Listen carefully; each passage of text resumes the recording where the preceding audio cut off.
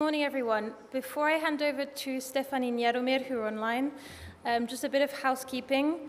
In case there's an emergency or a fire, the emergency exit is if you go towards the elevator, there's a door uh, to the left, Keith, that has a number two on it, and that's the way down and out of the building. If any of you feel ill, feel free to go to Dinesh and he'll sort you out. And for those who want, there are masks and COVID tests on the reception desk.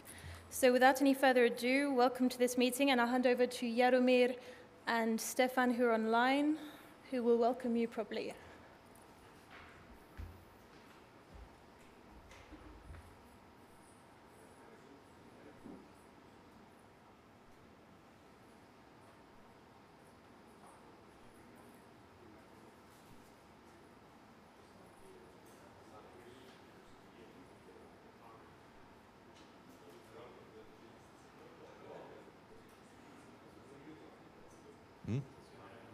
We are not hearing you.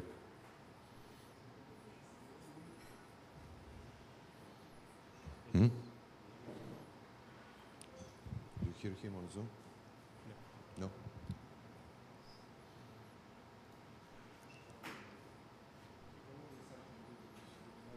No? Uh, hmm? We're not hearing you.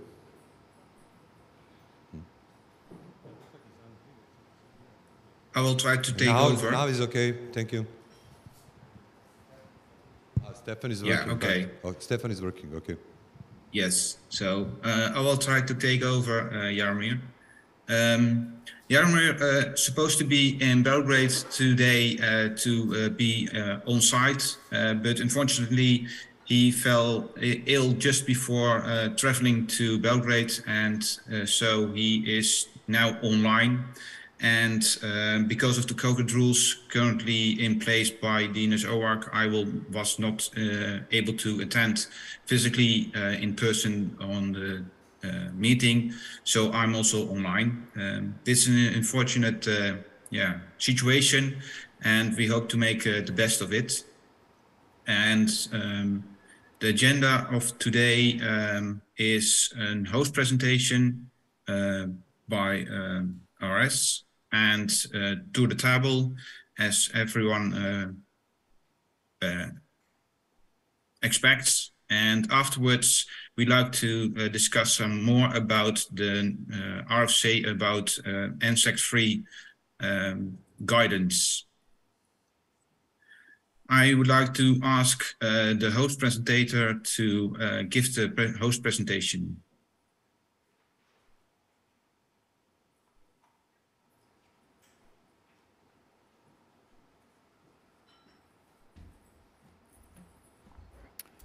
Hello, everybody. Uh, I'm glad to see all of you over here, and uh, I'm sad that uh, not everybody uh, managed to, to come to Belgrade, especially Jaromir, who uh, we just heard that uh, uh, was planning to, to, to come here.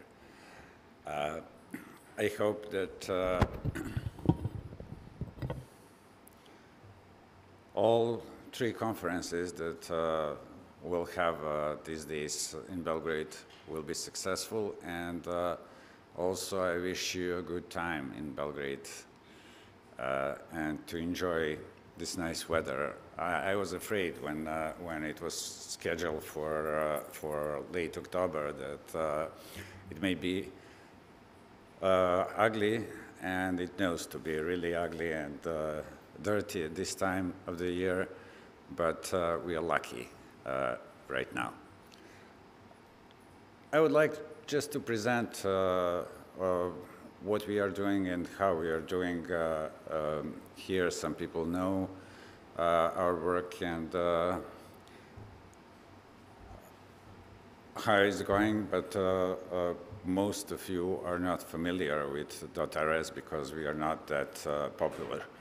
We are a small registry, and uh, our operations began uh, in 2008, in March 2008, to transition from .yu to .rs. Actually, uh, when Montenegro and uh, Serbia split up, uh, Montenegro got ME, and uh, Serbia was awarded with .rs. In 2012, uh, we got also uh, uh, and uh, at the beginning, that shows some success, but uh, uh, since then we are losing uh, uh, Cyrillic domain names, and we are now right now around two, 2,500 of them. So today I'll just focus, focus on uh, on main TLD uh, domain name, and that's uh, .rs. Uh, here are some basic uh, registration numbers. Uh, we have a little bit shy of 130,000 uh, domain names. Uh, and uh, if you look at uh, our uh, web page, uh, you can see uh, the second number, and those are active domain names, and there are, there are 100,027 127,147, that's the number from this morning. And all these numbers are from this morning. Inactive domains are those uh, which are expired or uh, which doesn't have uh, uh, at least two uh, DNS servers uh, set up with us. So there is uh, 456 uh, of them, and we are usually around uh, 1,500 domain names which are expired, and some of them will get renewed in, uh, in a period of 30 days, and uh, some of them uh, will be deleted. Locked domain names, uh, we have 14,000, but that's, uh, you see that star, and that's interesting. Uh, I'll talk about uh, domain locks later on uh, when I uh, present a little bit uh, our uh, registration uh, software. And DNSSEC is very interesting. A week ago, we had 300, less than 300 domain names signed. Today, we have 1,500. So from uh, 0.2%, we jumped to 14.5 in, in just a week time. And that's uh, good work of one registrar who decided to sign uh, all domain names. Actually, what they did, uh, uh, they signed, uh, the, they're signing all new domain names, but sent email to old registrants, and most of them accepted to, to, to have their domain name signed. So I'm happy to see this number. This is growth over the years, and uh, it is steady. Uh, I'm still waiting to see that exponential curve because uh, looking at uh, other domain registries, I see it is going slow at the beginning, and at some point, we did some research a couple of years ago, but uh, we didn't find any correlation and uh, what's triggering that. Uh, but we are still waiting for, for, for, for that sudden jump. And uh, okay, I'll accept after that to, to, to be steady at some uh, uh, million domain names. That's our target. What are good things uh, uh, with our registry? Uh, our operations are based on uh, high availability infrastructure. Uh, it is located in two separate data centers, uh, and uh, it is based on uh, VMware site uh, recovery uh, management. You who are familiar with uh, VMware clusters, uh, I'm sorry, this, uh, this picture is in Serbian. Uh, I didn't have time to, to translate that.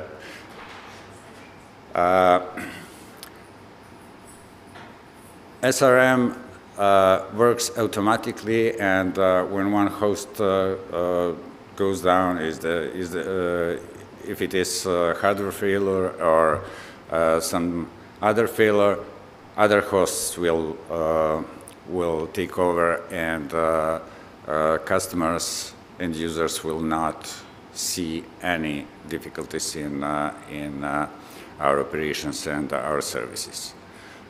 Also, we have uh, redundant uh, backups, and also we have uh, backup on uh, remote site, which is also recovery site.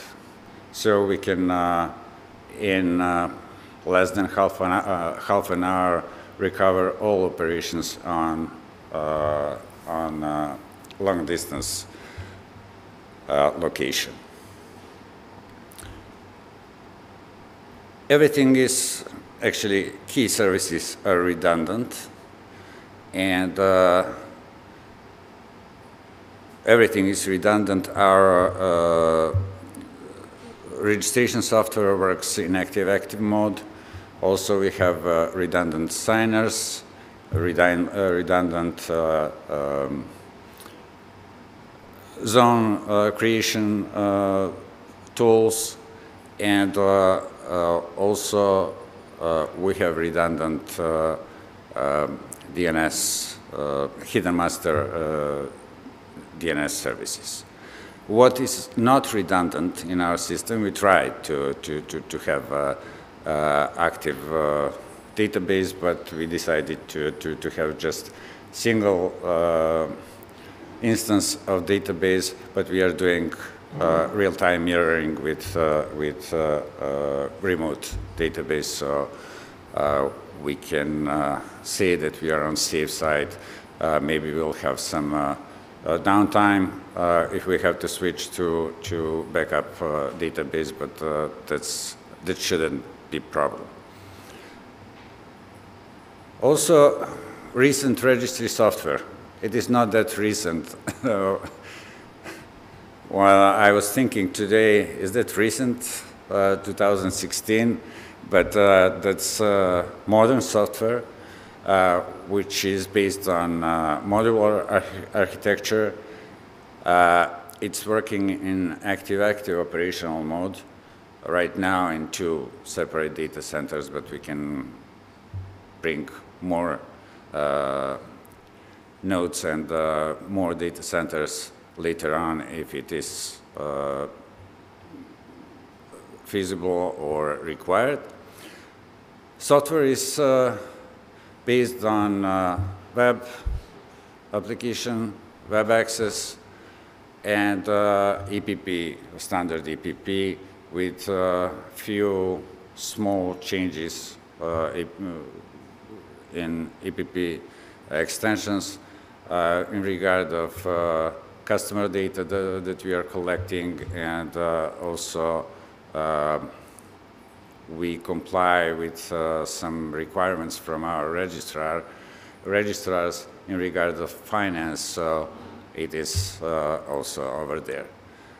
There are a few advanced functions. Uh, when uh, this software was made, uh, that was especially this, this function of three security modes, and uh, I believe that we had, uh, we were the only register, uh, registry that offered that. So we have uh, three security modes. Uh, first, the secure mode, where um, changes to the registry uh, can be made in, okay, I can say in seconds, but in minutes. How it works, uh, registrant through uh, uh, registrar por- portal or registrar do that uh, through the uh, web application, uh, registry web application. Uh, email notifications were sent there with, uh, with a code, and when customer received email and click on, on, on that code, it goes to verification uh, system and uh, change is done. And the other two security modes are uh, client-side lock and registry lock as well. Client-side lock um, is implemented in different ways with different registrars. Some of them uh, on, on, their portal uh, have uh, lock your domain names, and you can lock domain names, but uh, uh, you can also on same button unlock domain names, and that's uh, uh, I'm trying to explain to them. Uh, same thing if you have a, a really new new door and lock on the door high tech and you leave the keys over there. So we're working with registrars to, to fix that. And registry uh, lock works usual way.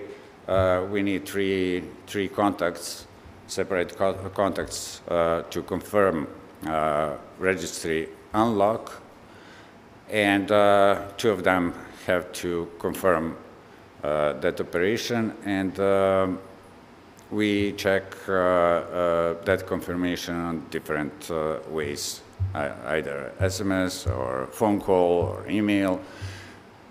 So we are sure that domain unlock uh, is, is uh, really requested by uh, authorized persons. Also, we have automated accounting and uh, registration system which, which works 24-7.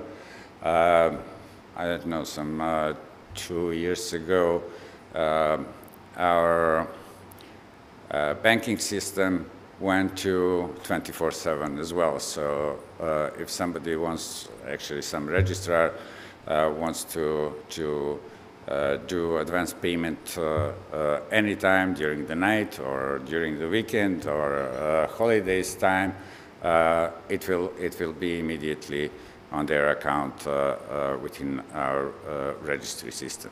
And also notification and verification, I mentioned that with the secure mode.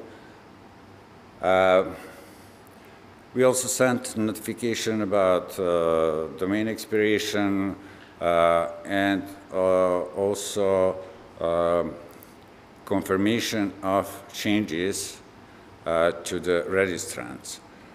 There is also option that registrar can choose uh, will they send notification to, to registrants or uh, registry will do that.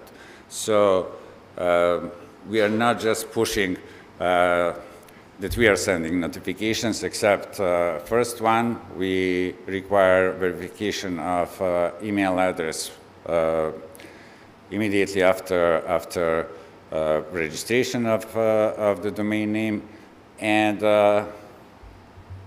that's it, what we require from, from registrant. And this software was, uh, was designed and uh, made uh, with security in mind. And uh, we have uh, restricted, it is easy to do when, uh, when you have known customers and having, I don't know, I believe 45 or some, something around 45 registrars. Uh, those are uh, known customers, so we can do um, IP whitelisting, uh, and uh, also we have uh, uh access while talking about EPP, EPP access. we have pre-shared keys that are used to confirm who who is accessing our, system. For web, uh, we also have whitelisting plus two-factor authentication uh, to log on uh, on um, our registry system.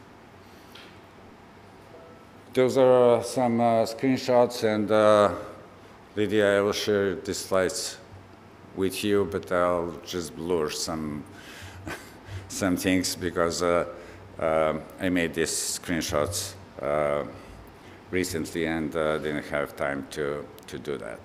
Uh, also, uh, there is uh, really a nice option and uh, most registrars are satisfied. We, we don't have uh, uh, feedback from all of them with this. This is just uh, one screenshot, uh, they can be changed. And also, all, the, all those fields are clickable. This is uh, administrative uh, uh, software screen. So they can click and see what domain name, uh, names will expire on certain day and also what domain names are, are deleted or are going to be deleted. Also, I believe this is transfer. Uh, they can they can follow transfer and uh, they can follow a lot of uh, a lot of uh, things in in graphic mode and also uh, in reporting uh, mode. I can say that our DNS infrastructure is robust, but we need to do some improvements. You can see we have six DNS servers. One of them, which is historical one, uh, that uh, we, we were using at the beginning in 2008, so we kept uh, that server till now. but we are planning, planning to introduce new one uh, since uh, we are unable to, to, to get IPv6 uh, address over there, and we'll see what to do with that. Um, and also, uh, we are looking to improve those uh, Unicast nodes uh, that we have. We have two Unicast nodes from Netnod and from PCH, but to, to, to have really robust DNS infrastructure, we'll need uh, more Anycast nodes. Uh, we were working uh, with Slovenian guys. Benjamin, where are you? uh, to, to, to make regional uh, uh, DNS Anycast system. This pandemic uh, slow, uh, has slowed uh, us down, but I hope that we'll continue and we'll have that uh, up and running. Right now, we are now in some testing modes, and we'll have to, to, to, to, to finish that. What can be better? We and uh, probably all of you, we need new young people. Uh, not a lot of people in Serbia are interested in working in, within registry and uh, uh, in D- DNS uh, uh, stuff. It is probably boring for them, but that's uh, because they don't know uh, much about DNS. I have to say that uh, I really enjoy uh, being in this industry, and uh, it is uh, pretty challenging and not easy stuff. It looks simple at the beginning, but when you get hands-on, it is it is very complicated. Also, we are understaffed. There are only 13 of us and uh, only three persons in uh, in uh, technical department, and uh, we that's first point over here. Uh, we need to speed up and uh, and do more more research and development stuff in the in the registry. Um, I hope that uh, uh, we'll have opportunity to work with some of you uh, if we can uh, help or uh, add any value to uh, stuff you're working. There are a lot of registries uh, within CENTR community that are doing really great job uh, with research and de- development, and uh, we would like to, to jump on that uh, wagon. Also, uh, one of the things uh, that uh, are on uh, priority list is to solve legal issues concerning domain name abuse. Okay, we have some uh, some tools, uh, and uh, also we are using other services to find abusive domain names. It can get better. Uh, again, research and development uh, stuff. But uh, when we uh, when we uh, find abusive domain names, we do not have right to suspend or delete those domain names. And legal system in Serbia, as, as far as I know, everywhere in Europe is, uh, is uh, pretty, uh, pretty tough, uh, and uh, registries cannot, cannot do much about that. But at least we need some organization that has legal rights to uh, suspend domain names and uh, to speed up this, this process.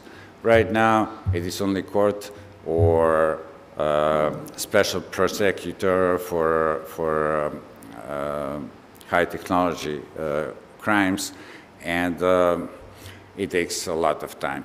Uh, in past few years, we, we had you know, a lot of abusive names uh, in regard of uh, um, green certificates for vaccination uh, stuff, and uh, we were suspending those domain names, but uh, only because uh, registration contact data were, were wrong. So we were using our uh, general terms uh, to suspend them.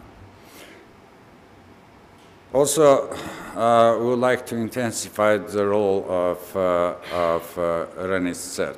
RNIDS-CERT uh, main task is to fight abusive domain names and domain name abuse. But also, uh, we would like to, to, to have um, uh, more um, information uh, about domain names, about DNS systems, and uh, um, to educate people how to uh, use them and how to fight uh, different, different abusive behavior of them. And also, we will need some infrastructure upgrade. Um,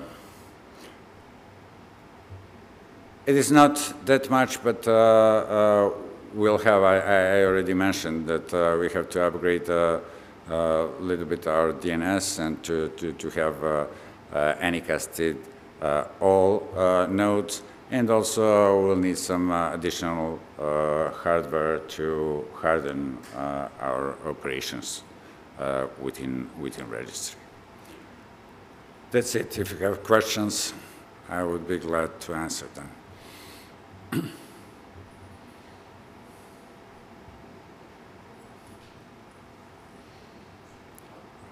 Here is microphone.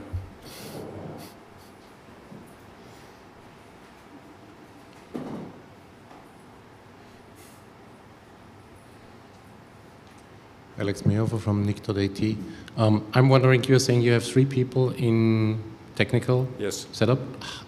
Do those three people do the 24/7 operations as well? Sorry, I, I, I cannot Yeah, it's a, hear you. it's a little bit hard here. Um, do the three people do the 24/7 technical operations and on, on, on duty?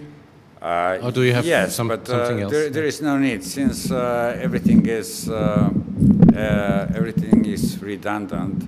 If something fails, okay, we have uh, uh, information about that, and uh, sometimes we have to, to wake up uh, Right, okay. in the middle of night and uh, and and do stuff. But uh, most of the time, actually, we didn't have uh, any accidents during the night, and that's Okay. it.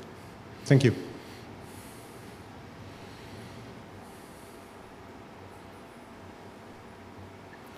Okay, Thank you very much. thank you.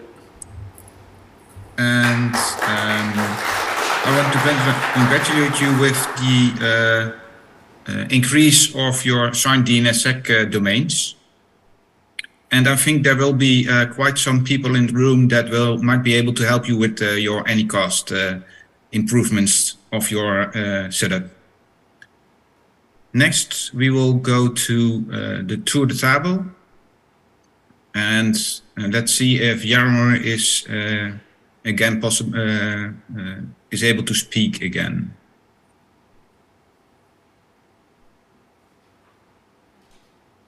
I don't hear Jaromir. So sadly, um, I will continue uh, with the tour de table, and um, the first is uh, Belgium. I don't know if someone is available from Belgium, and Stefan, no one from Belgium could attend, so they put their slides. Um, so Okay. we'll put the slides on the meeting page that you can check after the meeting. Okay, thank you. Next up is uh, CIRA, and I think Jake uh, should be able to uh, say something about that. Yes, hello. Good afternoon, everyone, or uh, morning at your time and nighttime at mine. Um, one moment.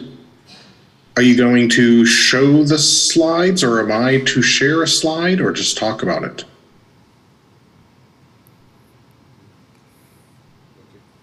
You should be able to see them. Okay, perfect. Uh, so uh, we just recently upgraded our registry software to Fury version 8. Uh, with that, uh, a, bunch of improvements and features. Uh, the most notable thing there would be our new zone publish setup. Uh, we're no longer using Perl scripts that I wrote years back. Uh, that's finally uh, Java. Uh, it's a bit faster than it used to be, and we're currently uh, waiting for new HSMs to arrive. These are Gemalto HSMs, and all, of our systems have been migrated to Red Hat 8.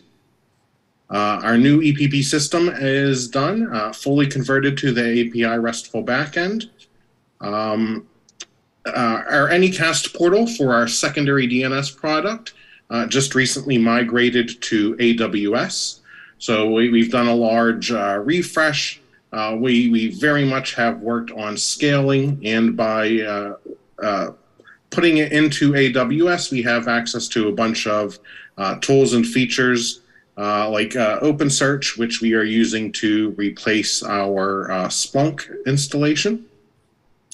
Uh, our DNS firewall recursive product uh, recently launched its off network agent. So uh, this would allow users that are not inside their enterprise walls to still use an app and or a module to um, be protected by our DNS firewall product. Uh, our data lake uh, constantly growing, uh, tons and tons of PCAP information and such in there. And yeah, we're we're doing more and more research and such to figure out uh, all the things we didn't know about what was in our data.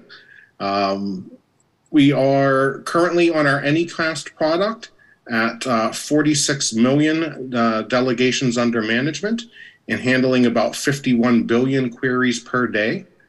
Uh, that's uh, 484 top level domains, almost one third of the root zone. Um, on our uh, Canadian Shield product, this is our uh, free DNS firewall service that we're providing to all Canadians. Uh, we've recently partnered with uh, Mozilla, who has made us a default uh, DoH provider for uh, users inside Canada. So we have hit about 4 million plus users, and we are uh, finding new and novel ways to uh, monitor and report on that uh, availability and round trip times, et cetera, which I'll speak to a little bit later on in the DNS-OARC presentation. And uh, infrastructure as code for everything, uh, literally uh, moving everything to Terraform and Ansible. Um, and, and we're looking now at doing things like Kubernetes and Docker uh, to give us more options and flexibility in the things we want to work on and, and solve. Uh, that's it for me. Any questions regarding that, or do we do a question period? It's been a while.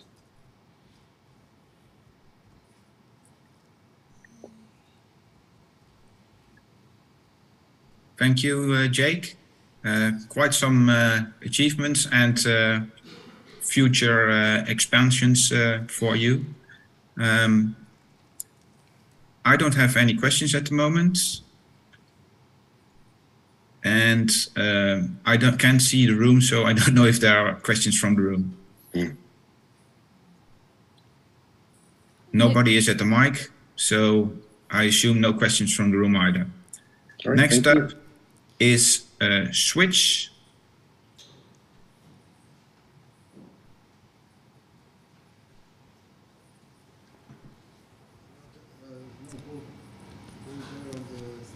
Sorry? Oh, state.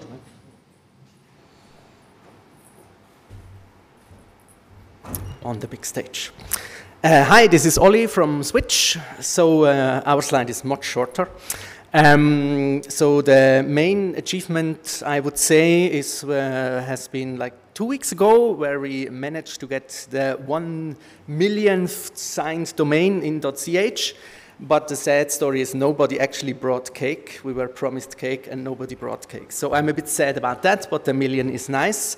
Um, basically, this is an achievement for us because uh, in like two years ago, we were at below 5% DNSSEC signed domains, and now it's 42%.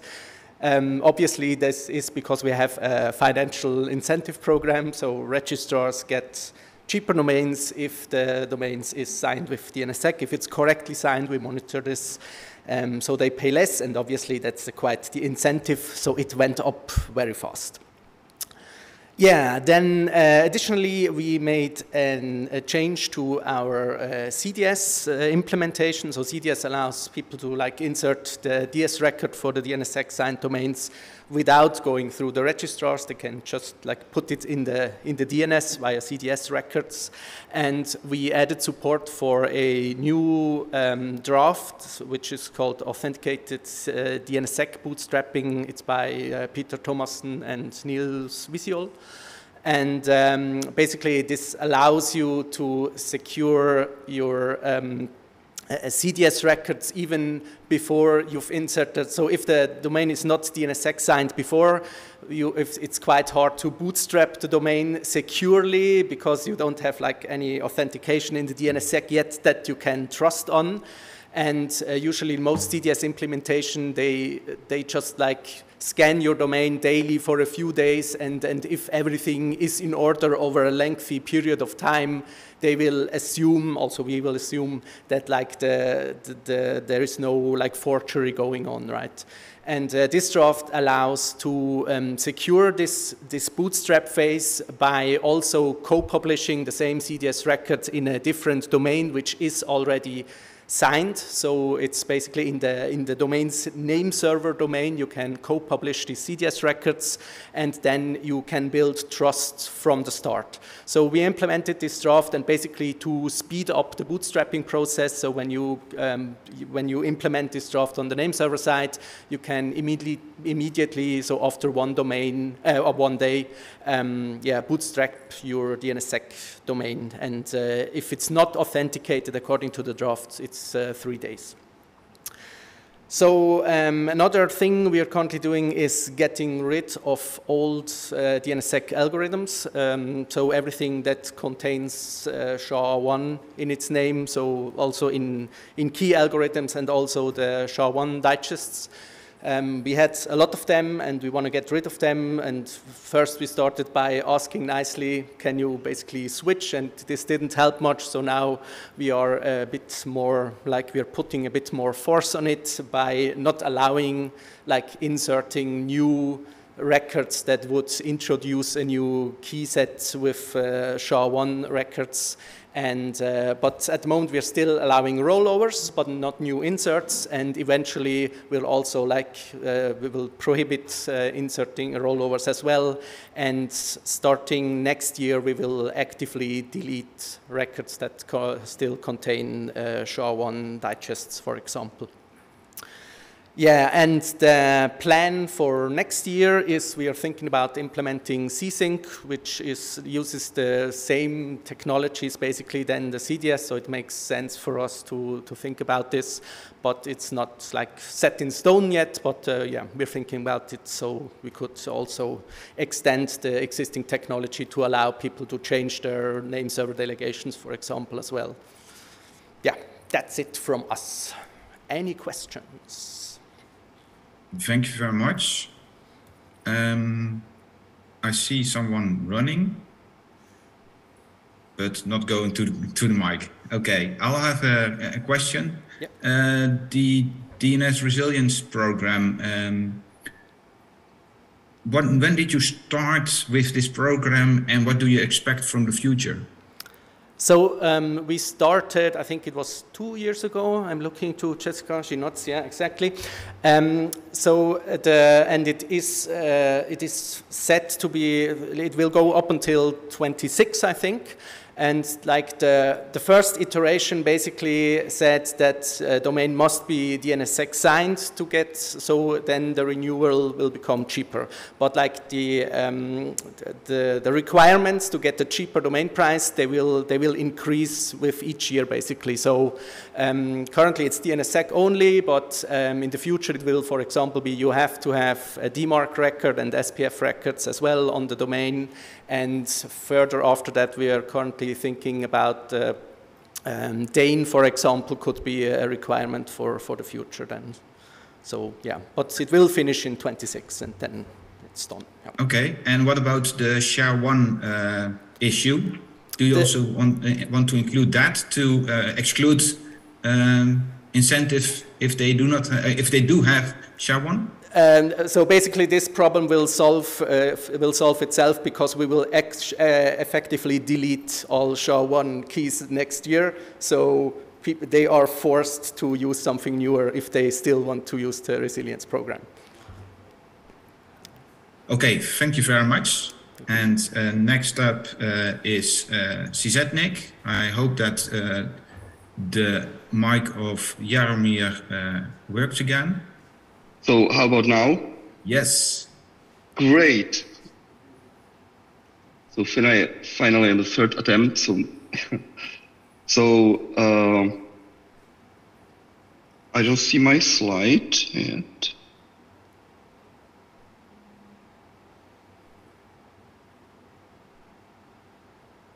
Okay, is there now? Great. So first, uh, if I had have an opportunity to speak now, so I, I would like also to welcome you at, at the workshop and apologize for not being there.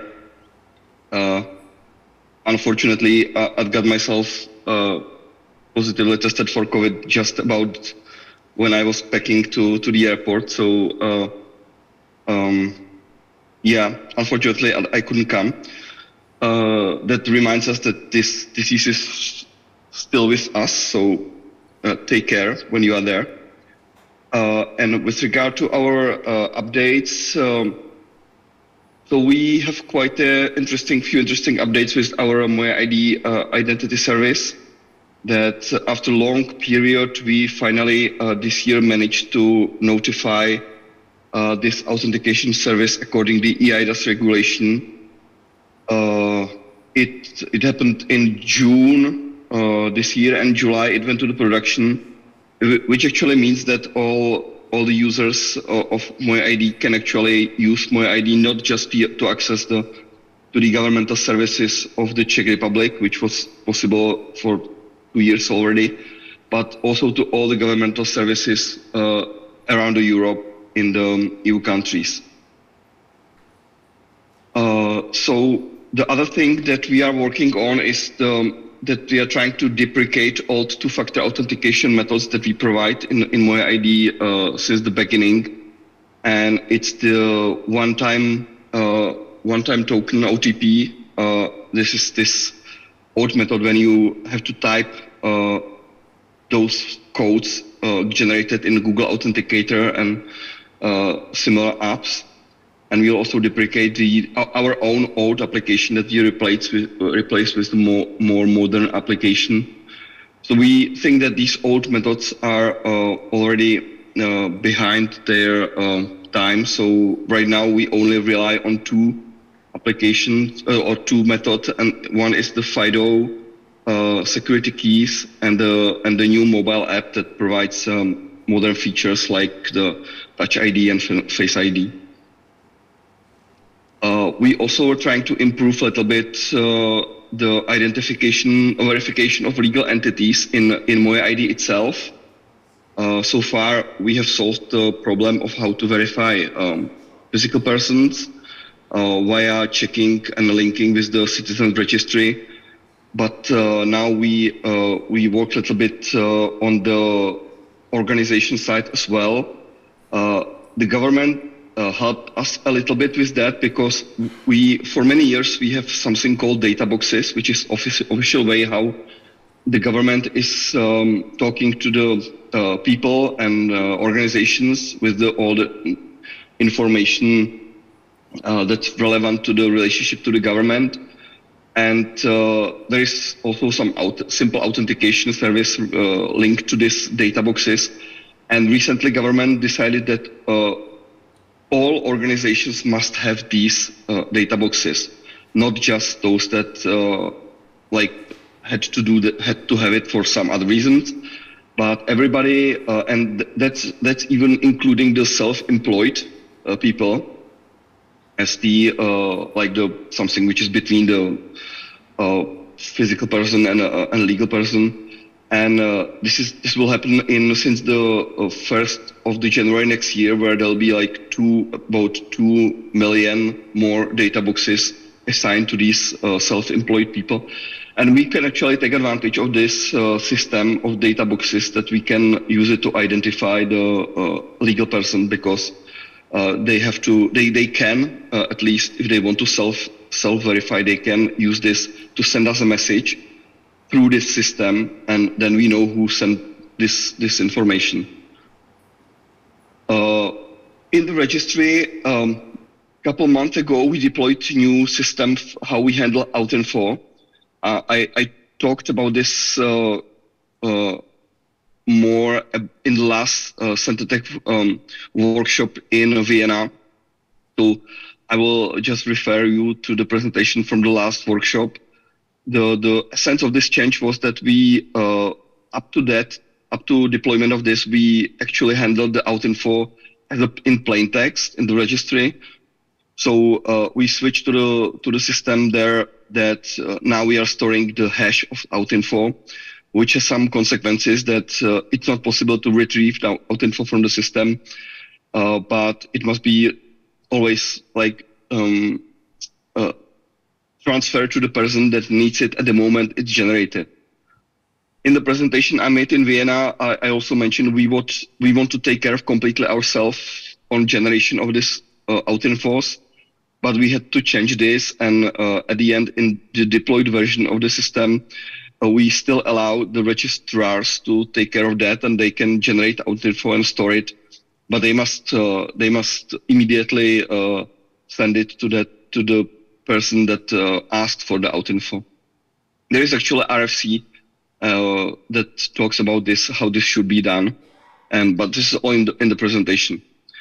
We are also working on the new verification portal. Um, this is uh, also part of the work that uh, Oron for uh, uh, .be started in the in the group of people that are trying to make the um, uh, similar uh, system for verifying uh, natural and legal persons registrants. So in in line what's the, the other are doing, we created like new portal where when we ask somebody to, we want somebody to to verify, we point them to the portal and on the portal they will have the ways how to how to verify themselves via different means could be eid uh, where eidas could be that they will ask to to send them some le- snail mail letter or um, they will go to the some office to to show id we are still working on this so more about this will come in the future. Uh, you probably know that as part of this regi, regi id uh, um, project that we allowed um, uh, our registrants to already self-verify themselves via EIDAS, EID and use it in our domain browser uh, registrant portal where they can have some features when, when they link it. But unfortunately, there was just a handful of people uh, tried try that. The thing is that people usually don't know about it. That they uh, they can do it. So so we decided, and it's quite controversial, I would say, uh, to to mail to all the foreign registrants information that they can do that. Uh, I understand well that it's a little bit controversial to spam like registrants about the features uh, features of the registry. But since this was about only foreign registrants, we we decided to do that. Uh, it was just like a couple days ago, so I don't have the yet the results. But um, that is this is probably only thing we can do to to uh, give them a chance how to how to do that. And we are also uh, working on the performance of EPP. This is also interesting thing that we never know how our production um, actually could how good it can perform. Uh, and definitely we do some performance testing on the test environment, but this is always never the same like production environment. So so right now we are working how to like the uh, be able to do the performance testing in production. That means either do some uh, like uh, plant outage in the night and uh, test all the interfaces how the, do, do they perform, and at the same time not uh, uh, destroy the logs and the database and everything. Be able to maybe roll back to the to the status before the test. So I saw that some somebody else has also performance test on the on on the uh, TDT slide. So I I would be interested to to hear more uh, how some other registries are doing this if they are doing this. With regards to the infrastructure, we finally uh, completed uh, the, um, our own fiber uh, from the office to the data center. Uh, uh, so far, we had a um, leased leased line, and now it's our own fiber, so we can we have full control over this. Um, and right now, we are working on the backup to have another another line. Uh, we also started to work on the reduction uh, of power consumption. We did a, quite um, deep inventory if all the servers that we are running in the data center they are worth to be uh, online and uh, of course we found out that there are many many servers that uh, are serving for some testing purposes or some uh, things like this where uh, the people that were using them they use use them like once a year twice a year or uh, not very often. So we switched off those those servers, and uh, I, am not sure if it's if it's correct, but I think we were able to reduce like by one third the the consumption of the power in the data center by this uh, doing this the review of the uh, if everything what is there is still needed. And in the office, we also start to play a little bit with how we can, for example, do the uh, central uh, control of the of our heating system. So we bought this smart uh, uh, control of of our uh, heaters.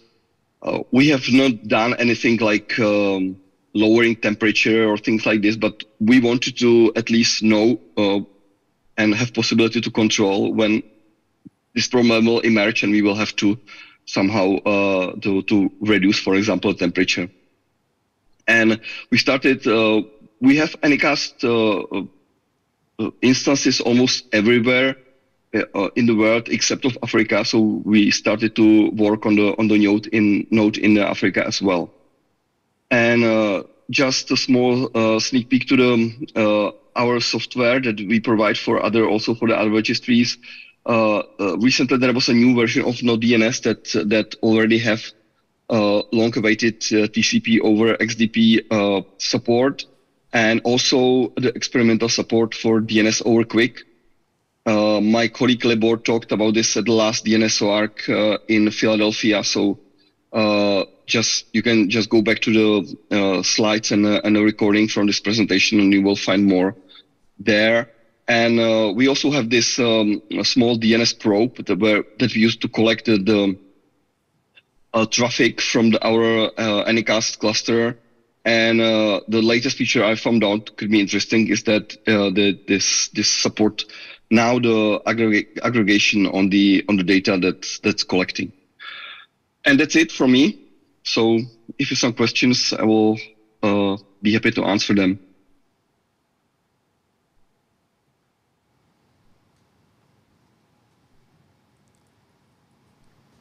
There's no one in the room. Thank you. Okay, thank you.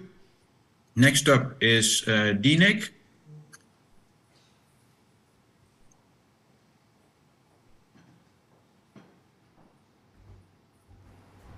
Hello, good morning, everyone. So um, DENIC has several things to do, not as much as CZ.NIC, I guess. Um, so what we have done, we have set up a new uh, location in Johannesburg, which is quite impressive. We started as a customer request to our Anycast system, and um, we had nothing there, and built it up in about five days. So um, yeah, really impressive work from our DNS team. Um, we are in the process of uh, evaluating XOT, Xfare over TLS, for uh, zone transfers to um, as a replacement for for our um, VPN system. So it will simplify the um, the name server locations. Um, yeah. Our data science team is working on registrant data verification. Um, lately they um, noticed that we have a vast amount of um, failed uh, address validations. So they looked at that and um, noticed that there are some sort of multi-line uh, messages, multi-line addresses that they don't recognize as real addresses. So they uh, re-evaluated them, them with, um, with, a, with a corrected format. And um, yes, that's what they did. Um, also, they improved our registrar dashboards with uh, business insights. And um, in the re registry system, we are um, rewriting our whole registry system because um, we are moving to a private cloud. So everything has to be cloud native. And um, yeah, that's what we did. Any questions? Thank you. Um, I have a question. Um, what is the impact on the used systems when you use uh, XOT? Um, yes, so um, we are not uh, referring to um, our, our zone files as a public um, thing. So um, when we are transferring our zones to our name server locations, there has to be in a, that has to be in a secure way. Um, historically, we use a VPN connection for that, and in the case that we are spinning up new new server locations, we uh, try to simplify that. And um, XOT is a, is a, nice way to, to secure the zone transfers other, uh, other than VPN. Okay, and would it be possible to give a presentation about it in, at another meeting? Um, how you set up and uh, what the uh, reasons were. You, you um, summarized it now, but it would be nice to have a bit more uh, information for other people who might be able uh, to learn from that. Yeah, sure. Um, I tried to convince them, so I also tried to convince them to have a presentation on the new, um, the new uh, name server location system they, they invented. But um, yes, I will definitely try to con convince them on that. Okay, I saw someone uh, walking to a mic, so uh, please uh, ask the question. Hi, Brett Carr, Nominet. Um, as your presentation was much shorter than Jeremy's, I wonder if you could give a little bit more detail on the, um, the, the, rapid deployment of five days of a DNS node. That, that sounds very fast, sir. I'm interested to know how you did it. It really did sound very, uh, very fast. Um, Actually, it's not a hardware location, it's a virtual location. So we have uh, some, some sort of um, company who spun up the virtual servers. They uh, do provide um, BGP, a full BGP feed. So um, we are able to, to spin up a location, virtual location, and uh, deploy like we are using a hardware location on that. Now, now five days sounds like a long time. um, yeah, actually, they, they also were very fast to spin up these, these virtual thing. Um, yeah. It all goes back to communication with them. Yeah. All right, thank you. Thank you very much. Next is Afnic.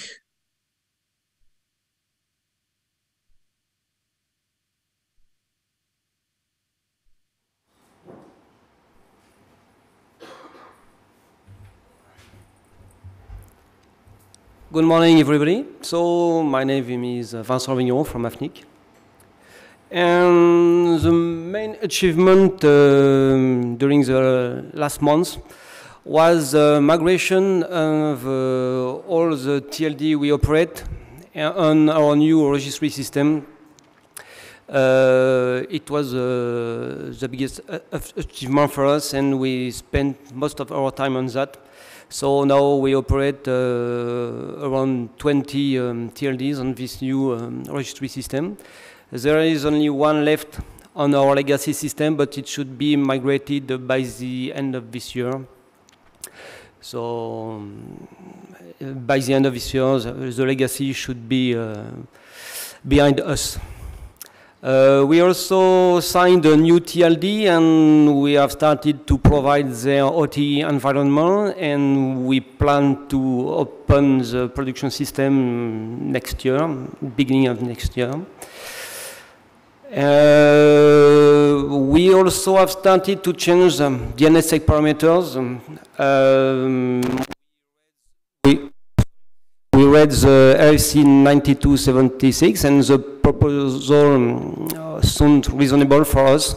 So we decided to change our NSEC3 parameters and reassign all the zones. Uh, we are just at the beginning of the process, so we reassign only, I guess, two or three zones, but all our zones should be modified in the next uh, few weeks. Uh, we also had the new release of Zonemaster this, uh, this summer.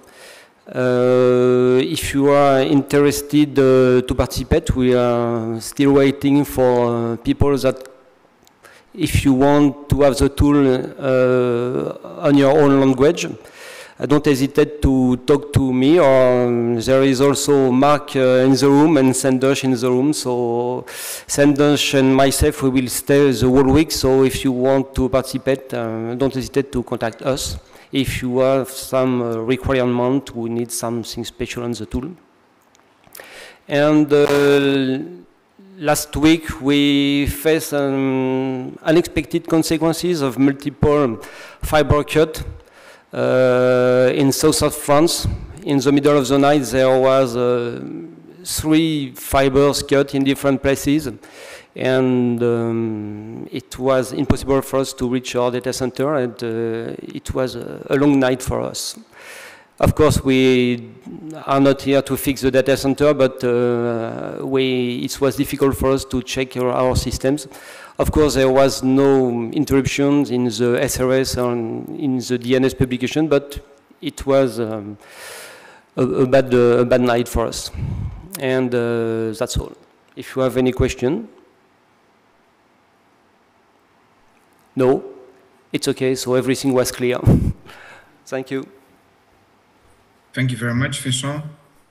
Next up is uh, .ie. Paul, I think. Hey everyone. Um, obviously, I couldn't make it to Belgrade this weekend, so uh, it's good to see everyone.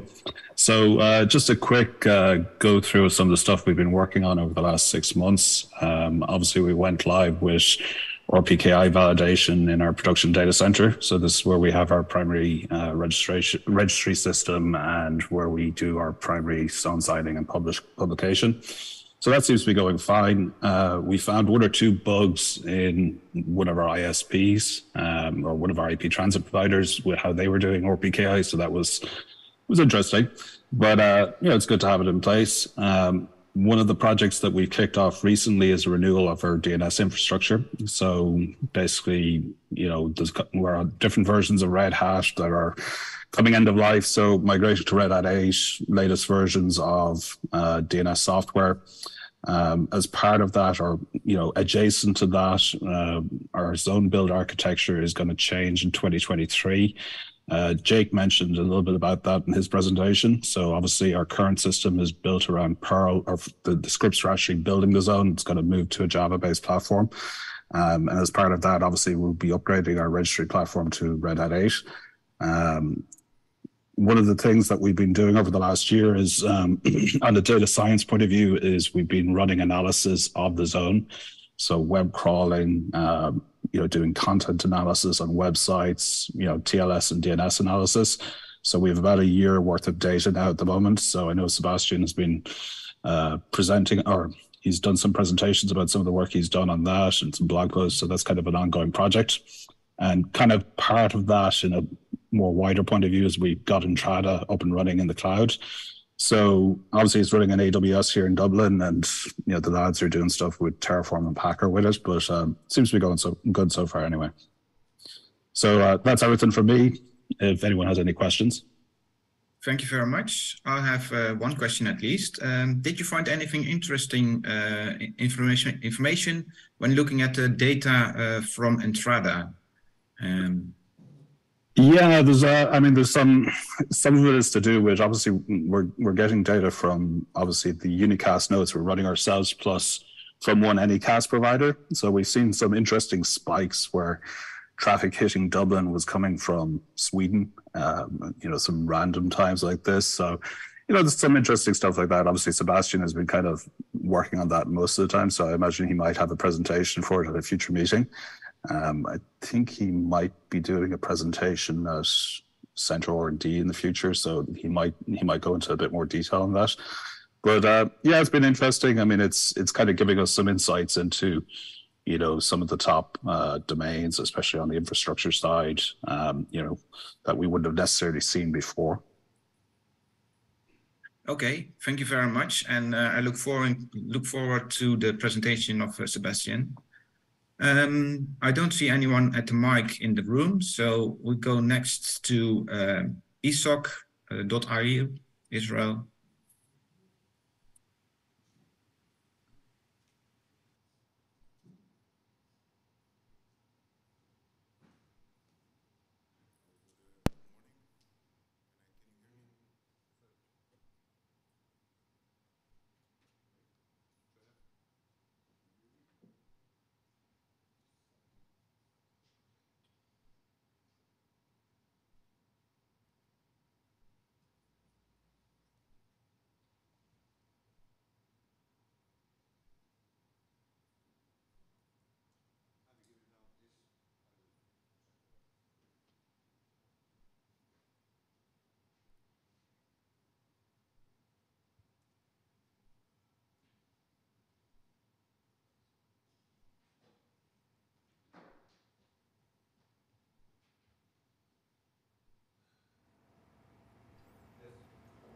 Can you hear now? Okay. So uh, yeah, this year we uh, have doubled in size, theoretically, uh, launching a new TLD. And actually, I'm happy to uh, see that the problem uh, with the slide, which is one of the problems with this uh, new IDN format, going right to left, and everything is messing up. So the quotes were supposed to be in the right, and then another one at the left. As you can see, it's not. And it's not intentional, it just happened, and that's the problem with the right to left scripts. Uh, when you try to blend them in uh, all kinds of uh, apps like browsers and uh, I don't know social media and etc. So as far as the IDN, the extend that uh, dash dash is fine, but when you have to make it visible to uh, users, it kind kind of sometimes messes up. So that's the biggest challenge we are facing now with the new TLD hopefully it will get done. Uh, it's more, it's uh, very similar to Arabic uh, script, which is also right to left, and uh, there are mutual uh, things that uh, can be managed. Um, another thing that was a problem for us was blending that with the browsers, know, getting to know the problem with the PSL and the time frame that it takes to blend new domain worldwide, such that the browsers will actually know that it exists so uh, usually it's about six months, and that's a long time unless you interfere inside and try to compile the code yourself, which we had to do. Uh, was not that kind of uh, not very fun to compile uh, Chrome. Um, but then again, uh, it's there and it has to be uh, made. So yeah, that was a setback of the project. Now it's more or less in the air. It's signed. we will launch it next month. Um, the, another uh, big thing that happened uh, this year was the uh, upgrade of our registry code, uh, especially the APIs. They are all uh, RESTful, fully RESTful uh, for the clients, as well as the backend. so that was a major step forward from a very old code. Um,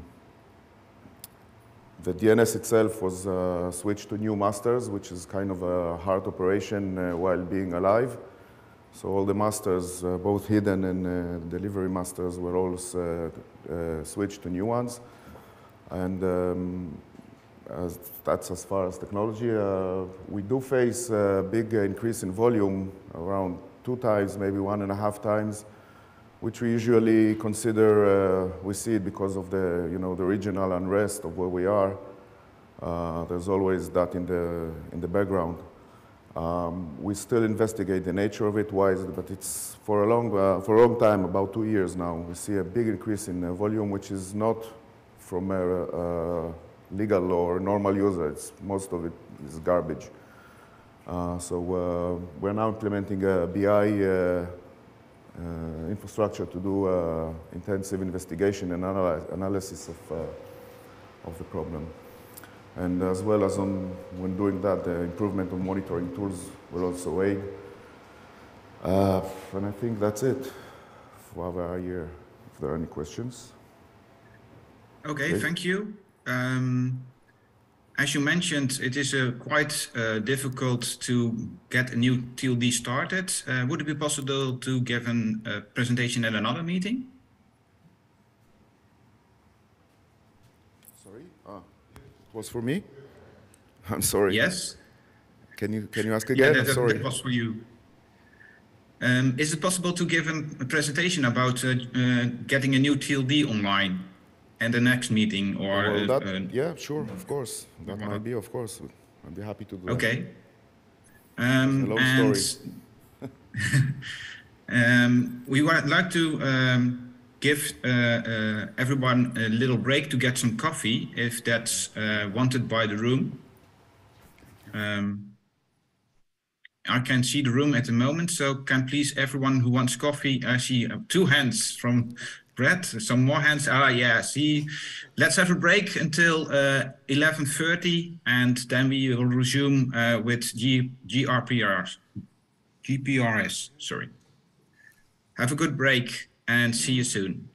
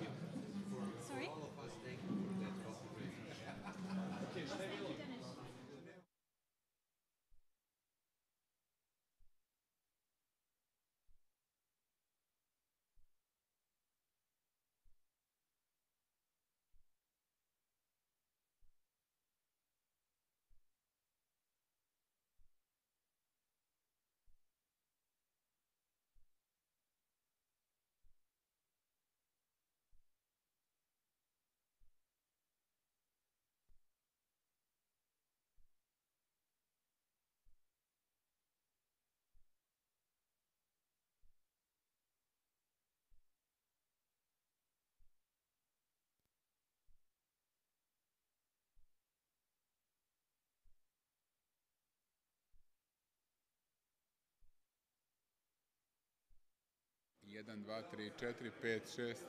Hoćeš da probaš? 1, 2, 3, 4, 5, 6. 1, 2, 3, 4, 5. Hoćeš, a? 1, 2, 3, 4, 5, 6, 7, 8, 9, 10, 11, 12, 13. 1, 2, 1, 2, 1, 2, 1, 2. Da, mi ćeš glasnije pričam, to. Ama, kamen. 1, 2, 3, 4, 5, 6, 7, 8, 9, 10, 11, 12, 9, 8, 7, 6, 5, 4, 3, 2, 1. 0, 1, 2, 3, 4, 5, 6, 7, 8, 9, 10. P, p, p, p, p.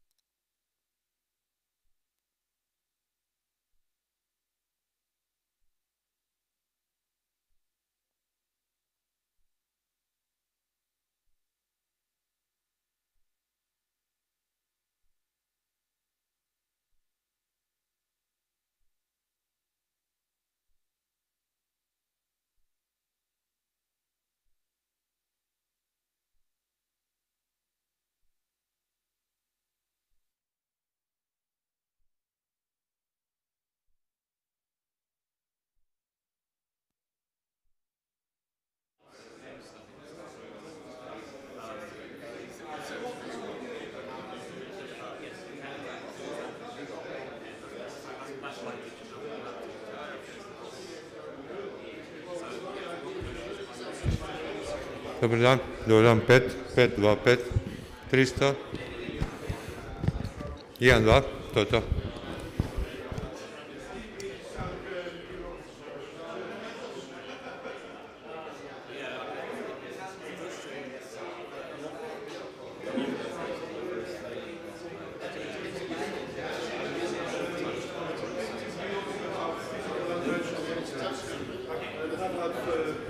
Iskreno najviše, najviše sumnjam na, ovo je malo sad jače, smanjit ću, test. Malo zvoni. Ništa što je otvoren taj osmi neki kanal, tako nešto. Test, malo ga samo smanji. Test, e, da ti je ovo okej, hoćeš jače slanje? Ok, ovo je super.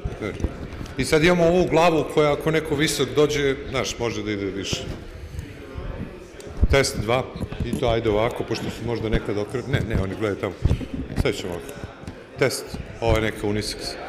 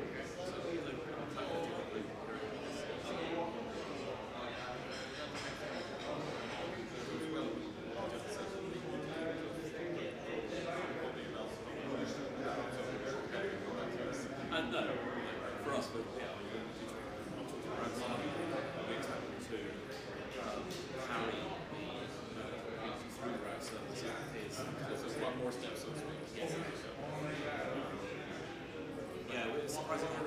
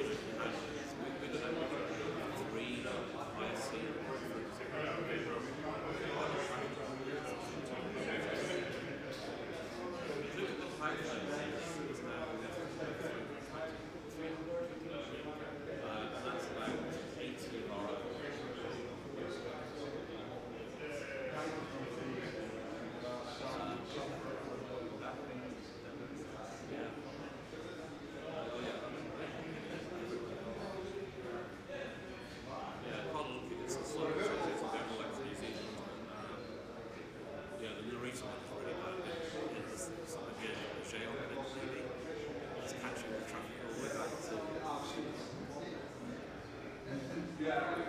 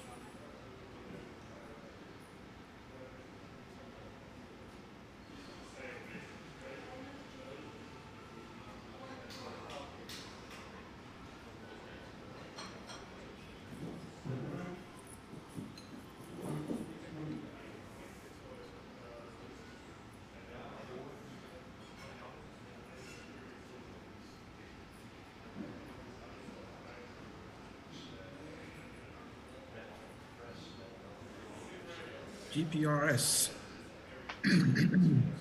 will be next in about one minute. Please get seated.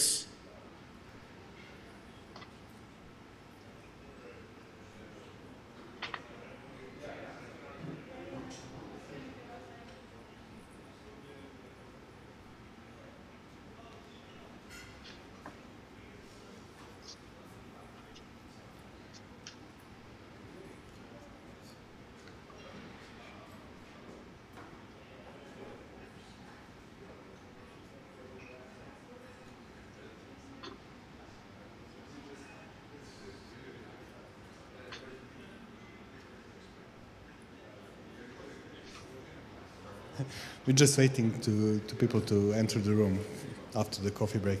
Just give us a minute.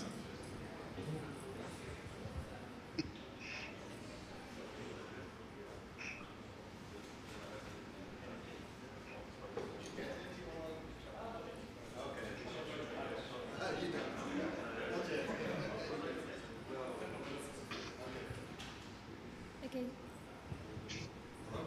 Ah, That's good. Okay. Okay. Stefan, you're good to go. Thank you. Uh, next up, uh, JPRS and Shinita Sato-san. If Yes. I say it correctly. Uh,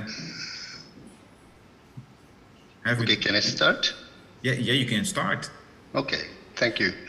I'm Shinta Sato from JPRS, uh, that is the ccTLD of Japan.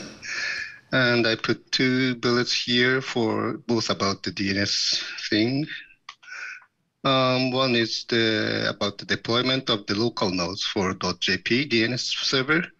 Uh, .jp name server, we have eight name servers uh, uh, that uh, consists of the uh, some kind of diversities. Two is operated by production names, uh, provider, and four is operated by uh, different partner organizations, and two rest of two is operated by JPRS and pretty much diversity operating things. And uh, we are adding uh, local nodes for .jp in one of our managed name servers.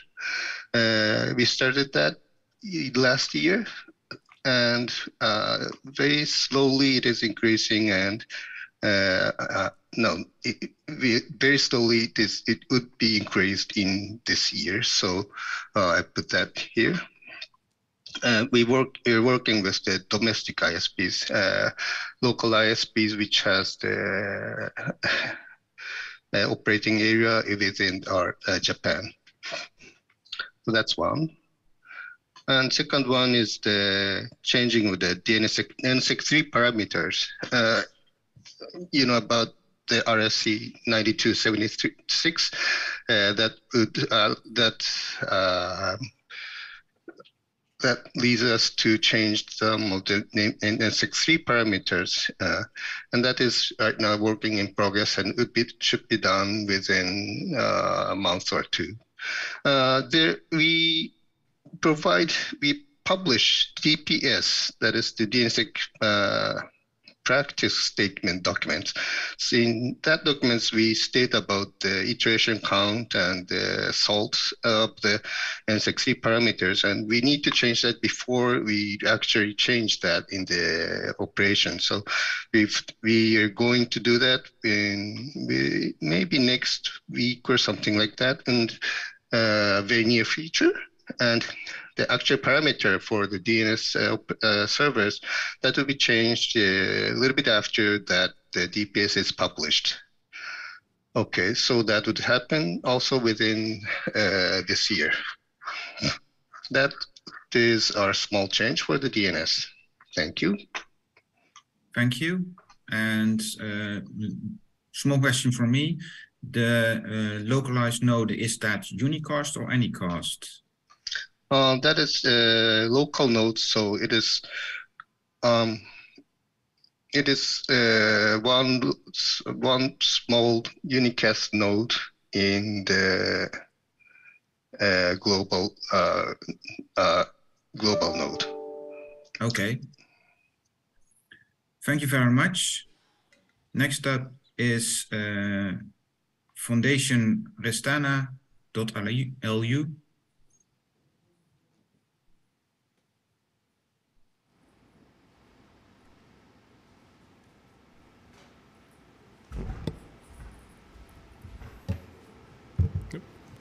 Hello, everybody. This is uh, Guillaume Herbiet, technical manager for uh, Fondation Restena, uh, which means I'm the DNS guy uh, there. Um, so what we've been doing recently, um, so we've been ongoing um, um complete system uh, infrastructure redesign, mainly driven by, by our ISO certification. So we moved away from CentOS, uh, migrated to Debian, and and try to do uh, more elaborated stuff like like using Ansible a lot, um, you know, um, automating a lot of things.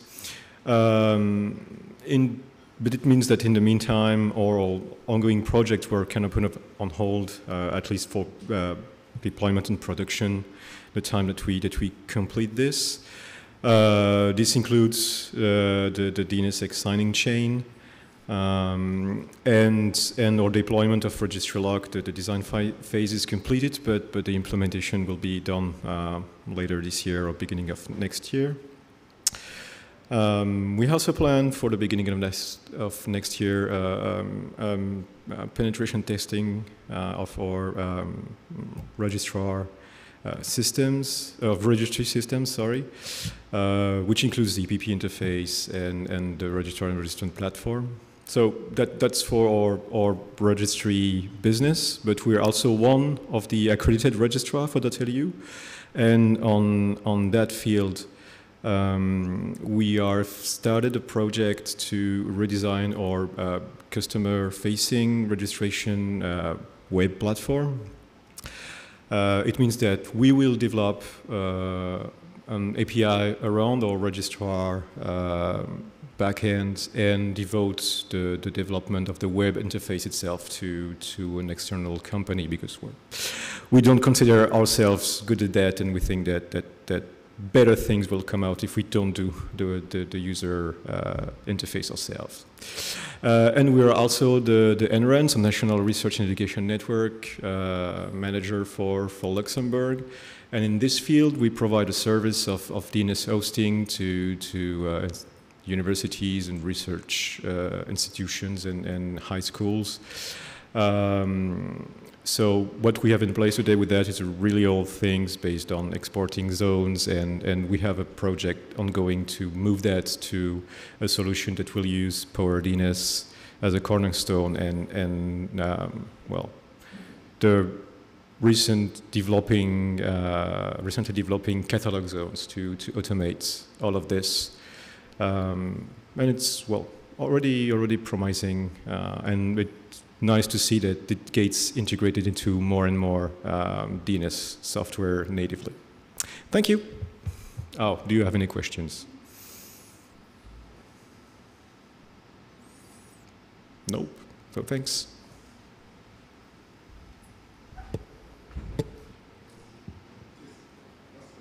We've we've lost online participants, but uh, give us a second to fix it. Uh, should we move to the next slide for now? Am I? Ah. Ah, yeah. Okay, sorry. Okay, sorry, we've lost online participants, so I suggest we move on to SIDN whilst we fix the online. Apologies, online participants.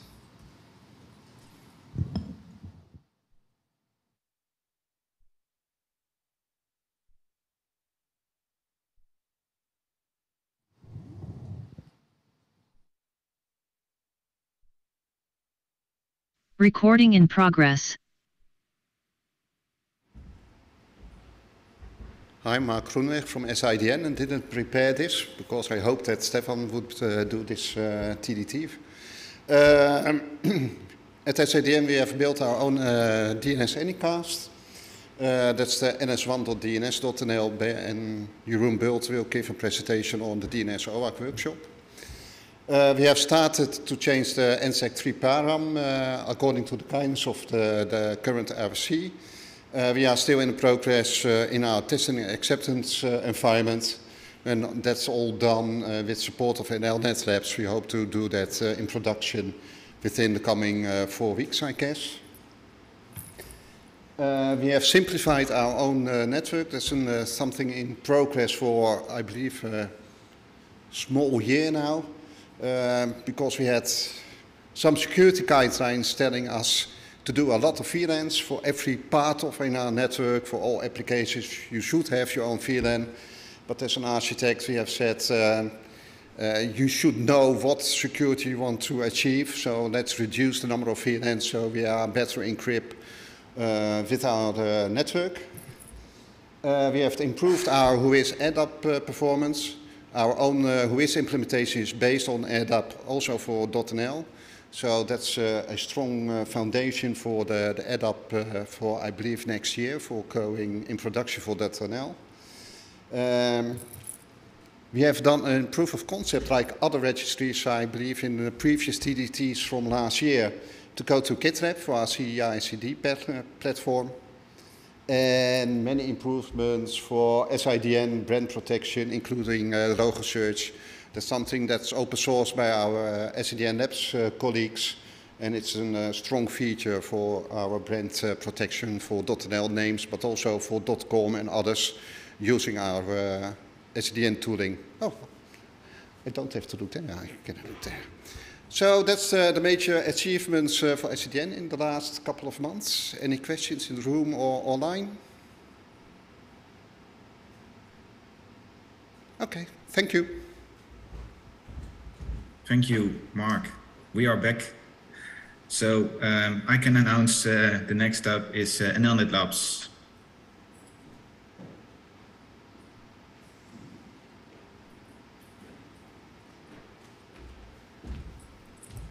Hi. Thank you. Welcome. Benno Overeinder and NLnet Labs. So here a brief update of the well recent software developments we have at the Labs. Um, as uh, Marc just mentioned, uh, OpenDNSSEC developments, we are working with SIDN uh, for the new NSEC 3 uh, recommendations, settings re recommendations. Specifically, it's about the salt length zero for migration, so my, for zone migration, if you migrate to salt length zero. For new zones, new signing, we don't have that problem, but we're expecting to solve it in the next couple of weeks. Uh, other things, uh, we mentioned it also earlier this year, uh, development of high availability in OpenDNSSEC, uh, expecting to finish that maybe end of this year or early next year. We're uh, wrapping up stuff here. Uh, message digest for DNS zones, RFC, ZoneMD RFC, is finished and will be also integrated in a new release. So the release of this October is patch, uh, bug fixes, not new features. For NSD, uh, as we presented earlier this year, we introduced zone verification, or formerly known as credence, in, in NSD4. That's now integral part of NSD4, not a separate product as it was previously. And part of that is also this the IXFR out is part of NSD4. So it can be used as a bump in the wire. Uh, signing a zone and before publishing you can feed it through the zone verification feature of NSD4. If everything is fine, green light, it will be published and publicly available. If there's a red light, if there's some error in the, in the new signed, signed zone after update, uh, it's blocked and signaled back that a new sign of sorry a new zone has to be signed and published. Um, other work, this is more proof of concept, this is more well whetting your appetite for the future. Zone parsing improvements eh, for large zones. Uh, well, a substantial amount of time is just reading the zone file and putting it in the database NSD. We are optimizing that so the startup time is smaller. Um, and part of that is also data structure improvements. Uh, we do have proof of concept implementations, but that's somewhere in our GitHub, but it's not in our development branch. Um, other things, uh, Guillaume Jean from LU just uh, mentioned catalog zones. It's also something on our roadmap. Uh, it's good to have that for all the alternative name servers. Uh, that, and the, the different open source software can work together here and interoperate. Uh, also the, the, the, draft, soon to be uh, uh, RFC, has been also been the authors of this draft uh, slash RFC has been the four open source software developer or op the four open source DNS software organizations. Um, for Unbound, we released uh, the proxy version 2 protocol and uh, ACL per interface feature recently in Unbound. Um, well, if you want to have more details here, I'm happy to talk about that uh, during lunch or during the next two days at the OARC meeting. Uh, extended DNS error reporting is part of Unbound, so giving a little bit more information if you have a SERVFAIL. Eh? What kind of DNSSEC issue is there? Is algorithm not supported? Is it uh, signature uh, expired? Something else? Give some more. Or if refused, it's a lame delegation, or maybe server is still spinning up. Yeah, so you get a little bit more information behind the classical uh, uh, uh return values you get from, uh, from your name server. Um, and in development, DNS over QUIC in Unbound. It's in the GitHub. Some people are already, we already get feedback from people, so that's, that's good to hear. So there are people already testing and giving, ID, well, sharing IDs. Um, release date is not exactly clear. It's, it's, we want to test it thoroughly be before we release it. Maybe end of this year, probably early next year, um, and keep you informed. Um, any questions? Yeah?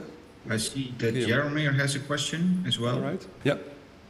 Jaromir, please. Okay, uh, so uh, I have a question about this that uh, high availability you mentioned in the presentation that you have in development. Can you elaborate a little bit about that, how it will work? Like there will be some syncing of keys or how will it work with the HSMs, for example? Yeah. Um, okay, sorry. So it's uh, the high availability will be kind of two instances of the of the signer actually. So you have in OpenDNSSEC a signer and we call it the policy enforcer. So there will be two instances of the signer, kind of running in parallel. One is being the well, the, the primary, and one of be silent in the secondary, but they have the same state. And uh, also with replication of the, the HSM. Uh, but there will be one enforcer, so one entity that will say, well, this is the next step. So that has to be cl clarity.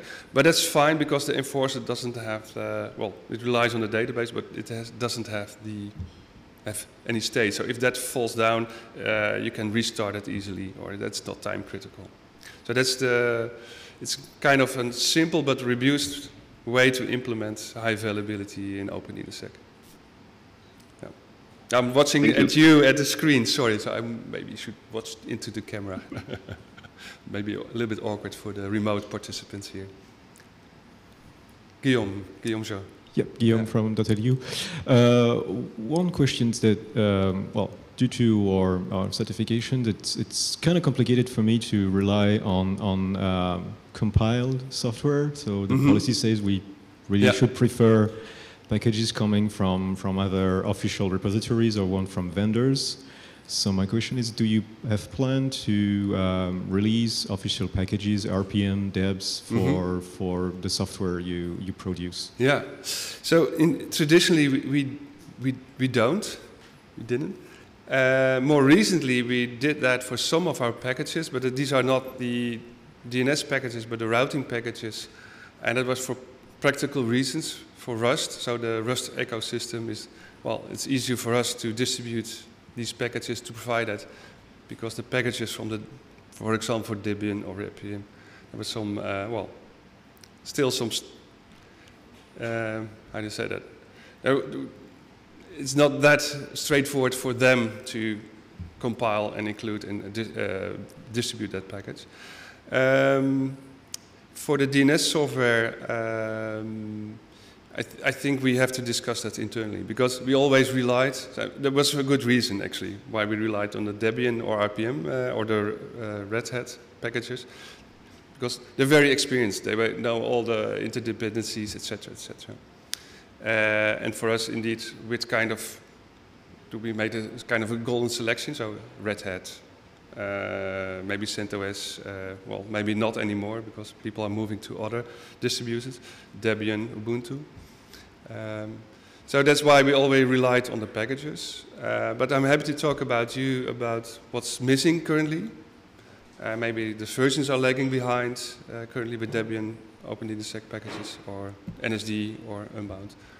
And uh, we were in con- we, for most of our packages, we are in contact with uh, the Ubuntu, Debian, and the Red Hat packages, packages to keep uh, well to keep well, well a good relation with them. Also with CVEs, etc. We also notify them quite early, so that. Uh, yeah.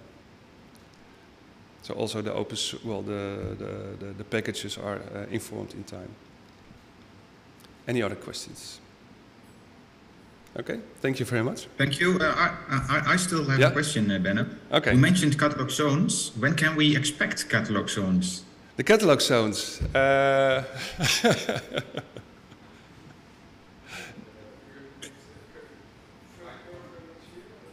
maybe okay, yeah, yeah. So, so yeah, one of my software engineers, Willem, uh, please.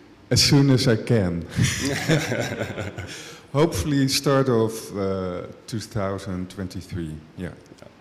So you, Thank you for. Yeah, yeah. So there's a proof of concept script which you can use with the uh, zone verification feature of NSD. You know, but uh, you, you can use that too if you want to. But uh, it will be there will be a native NSD implementation. Yeah. So by now I have the mic. Yeah. Yeah. Another thing about the packages, we do have uh, one uh, distribution for which we do make packages. Yeah, the And that's FreeBSD. It's yes. FreeBSD indeed. yeah, yeah. No, that's true. That's, Yeah, we uh, maintain the FreeBSD packages for OpenDNSSEC, for example, and NSD. But uh, yeah. Okay. Okay. So yeah, uh, Stefan, uh, early next year. Catalog Yes, zones. thank you very much. Okay, thank you. Next up is .pt Portugal.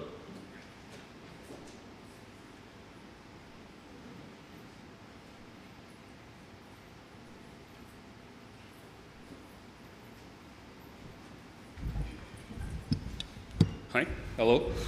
So for the past couple of months, we did some minor updates on our registration system, and we integrated uh, IE2 that uh, does some validation on the contact data and also on the domains.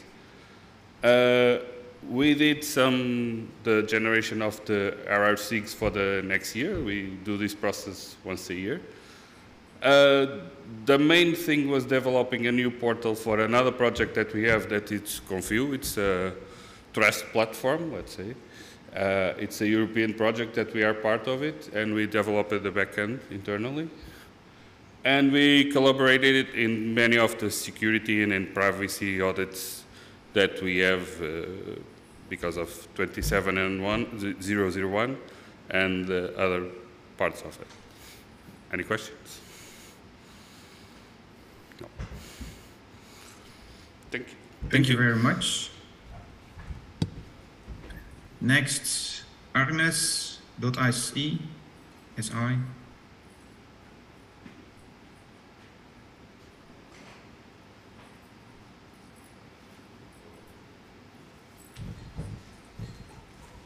Hi, I'm Benjamin from Arnes uh, from .si registry. Uh, current uh, last uh, month we removed uh, admin contact from the EPP. Actually, we don't remove it from the database, but we uh, disallow updates and new registrations of admin C along with the sorry along with the, the uh, domain uh, manipulation. Uh, we had to, to implement also this uh, new policy uh, in our uh, EPP client, so we released a new EPP client, which is much better than the older one. another thing we did in the past, uh, we put uh, or we set up all the services we offer to, to, to registrars in H, uh, high availability. That means that we have two instances of each server up and running all the time, and when we do upgrades, we switch to another, and uh, services are not interrupted.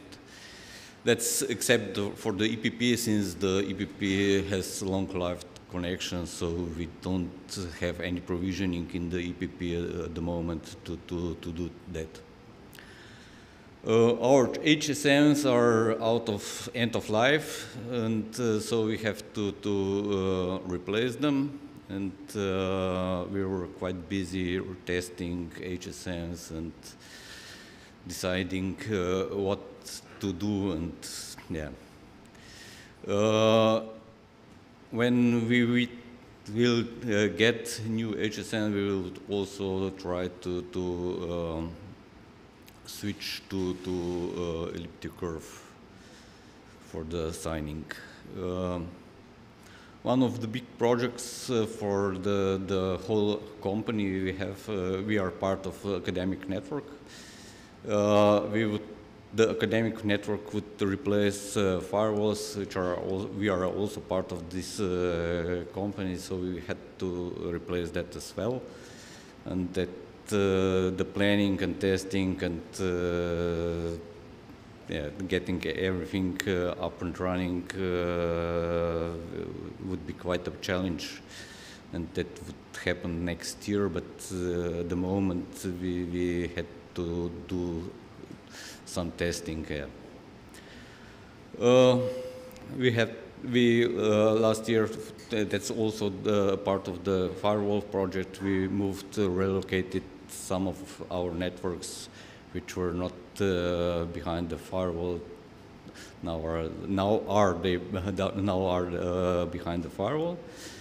Yeah, and uh, we, we have also third location since our both of our locations are the, in, within the same earthquake zone, so we decided to have another uh, location, but uh, those steps are quite slow, unfortunately. And yeah, we, we had we got a new VPN also from the, our mother company, and uh, we were quite busy to uh, yeah, to, to adopt all the uh, access rights and that kind of stuff uh, to, to, to, to, to work with the new firewall, uh, to, with, uh, with the new VPN. So that's from the SI, and if you have some questions.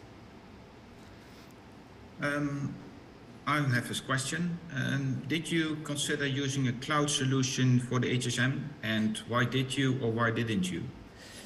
Yeah, we did uh, actually uh, consider to, to, use, to use uh, SoftHSM uh, for uh, instead of the hardware HSM, but yeah. Uh, I think our community wouldn't be very uh, satisfied with uh, software HSM. Okay, thank you very much. And if there are no more people in line for the mic, um, then I would like to ask uh, Nominet. I, I, have I have also a question, if I can. Uh, sorry. Uh, so uh, can you and can you maybe share who is the winner of your HSM testing? What was what platform will you use? Or is it, is it secret? Uh, currently, we use uh, SafeNet Luna, and they are out of uh, end of life. End of life. Uh, uh, currently, we tested uh, Utimaco and Luna HSMs, and I'm and I don't know whether I'm supposed to say that, but I'm not very happy with Utimaco but uh, Luna works better. And uh, I have another question. Uh, what actually drives you to remove admin contacts? Why did you Why did you decide to do that? It was not technical uh, question uh, to, to remove admin contact, but uh, mainly because of the GDPR, because we didn't use admin contact for any purpose. So the, the, the admin part decided to remove it and yeah, we, we had to adopt our software and uh, get rid of them. Okay, thank you. Thank you. And uh, then next is Nominet.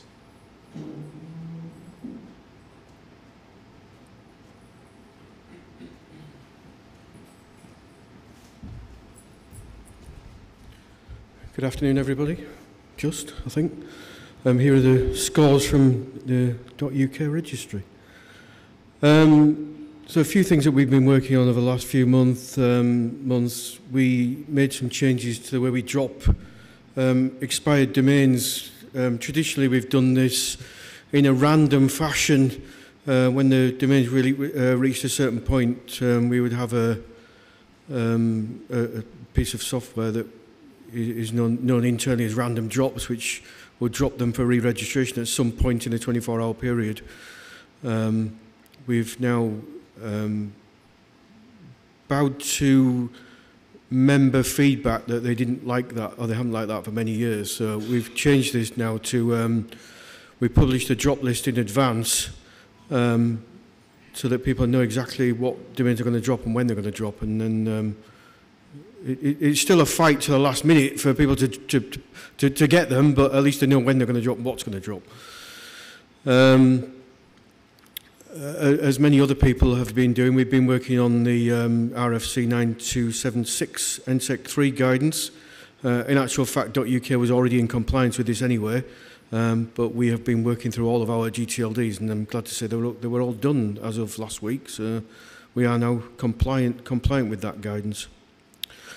Um, we've transitioned some more GTLDs in. Um, a couple of examples off the top of my head. We transitioned .pioneer, um, the hi-fi company, and um, .IEEE, e, the standards uh, organisation, into Dominex GTLD systems. We've completed OS upgrades, um, which I think many other people have mentioned. It's an ongoing project all the time for everybody, I think, but um, We, we have up upgraded our red out systems across the whole infrastructure over the last um, year or so. Um, when we deployed our DNS Anycast cluster, um, my Facebook memories are telling me it's seven years ago. It doesn't feel like that, but uh, time flies. Um, we, we deployed a node in Geneva, um, and for various reasons, we've had to decommission that node in Geneva, so we actually moved it to Frankfurt recently. Um, that has actually been a roaring success because Geneva was the uh, one the DNS node that we, that we that got the least amount of traffic in all of our infrastructure, and moving it to Frankfurt has now accelerated it to the node that gets the most amount of traffic. So that was that was very nice to see. I think that's a reflection on the connectivity available in Frankfurt versus Geneva. Though. Um, we're also working on, um, have been working on for a while, and will continue to work on for the next year or two, something called our technology transformation program. This is deploying new core data centers for our um, core registry applications and, and corporate applications, um, moving to some software-defined networking um, constructs, um, pushing almost everything into Kubernetes and containerization, uh, and improving the security around how we access the network um, to um, you know, improve security. Um, a couple of uh, other things, a couple of other things I haven't mentioned on this slide. We got a new, we've just employed a new CTO, so um, we, we have a new CTO starting in about a week or two's time. So that may obviously mean some changes down the line. We'll see how that pans out. Um, we've also decided recently to, uh, as I mentioned, our D Anycast DNS infrastructure is seven years old, so we're actually planning to, uh, we started the planning progress to, um, to refresh that infrastructure, and that, that will pro almost certainly won't be just a refresh of the, of the hardware, it'll be um, taking a, a, a look forward on what the current best practices are and what um, is, is coming down the line and, and doing some different things. And Um, I'd, I'd, be interested to know from anybody else in the room, lunchtime or, or, or over drinks tonight, what your plans are in this area and what, um, you know, if anybody's, in particular, I'm interested in knowing anybody who's using um, containerization and Kubernetes within DNS servers to see if that's something that's, that's a thing yet. Um, or any other uh, ideas on, on, on, in that kind of area that um, people want to, uh, are willing to talk about, it would be, it would be good to know. Um, and then lastly, we've, um, I'm, I'm very happy to say, um, Nominate are, uh, are, uh, are uh, trying to uh, get more involved in the DNS community and, and have actually dedicated a role for um, technical community engagement, which, um, which currently is me. Um, and, and that's my update. Any questions? Yeah, Mia has a question for you. Yeah, I have a question related to your first bullet on the on the list. It um, seems to me that most registries do exactly the other way around. They are trying to um, make uh, everything hard for drop catchers to fight for the domains, and seems to me that uh, if I understand correctly, you like uh, revealed when exactly the time when the domain is deleted, so so they can they can start to fight for the domain. So, uh, what is the reason? Like, um, as, as some of you in the room may know, um, Nominet has had some um, engagement challenges with its membership over the last uh, year or two, um, and uh, uh, uh this has been this change has been purely due to a consultation with our membership, and that we're, we're driven in to do it because that's what they want um, overwhelmingly. Okay. Thank you. I do have a question uh, from uh, ISOC-IL. We were uh, considering using Kubernetes as a microservices as a DNS platform, uh, using the swarm uh, to make it go up and down as a fact of demand. And if you can manipulate it on clouds, so you can have one region going up, the other one going down, depending on, uh, on the demand.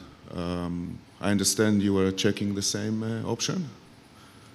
Um, yeah, well, I mean, it's, it's very early days. I mean, it's literally in the last sort of three or four weeks we've decided that we're going to. Ex- we, there, there was a. The, our plan was to start looking at DNS infrastructure in next year, uh, but actually, you know, we, we've decided literally in the last month that we're going to, you know, accelerate this.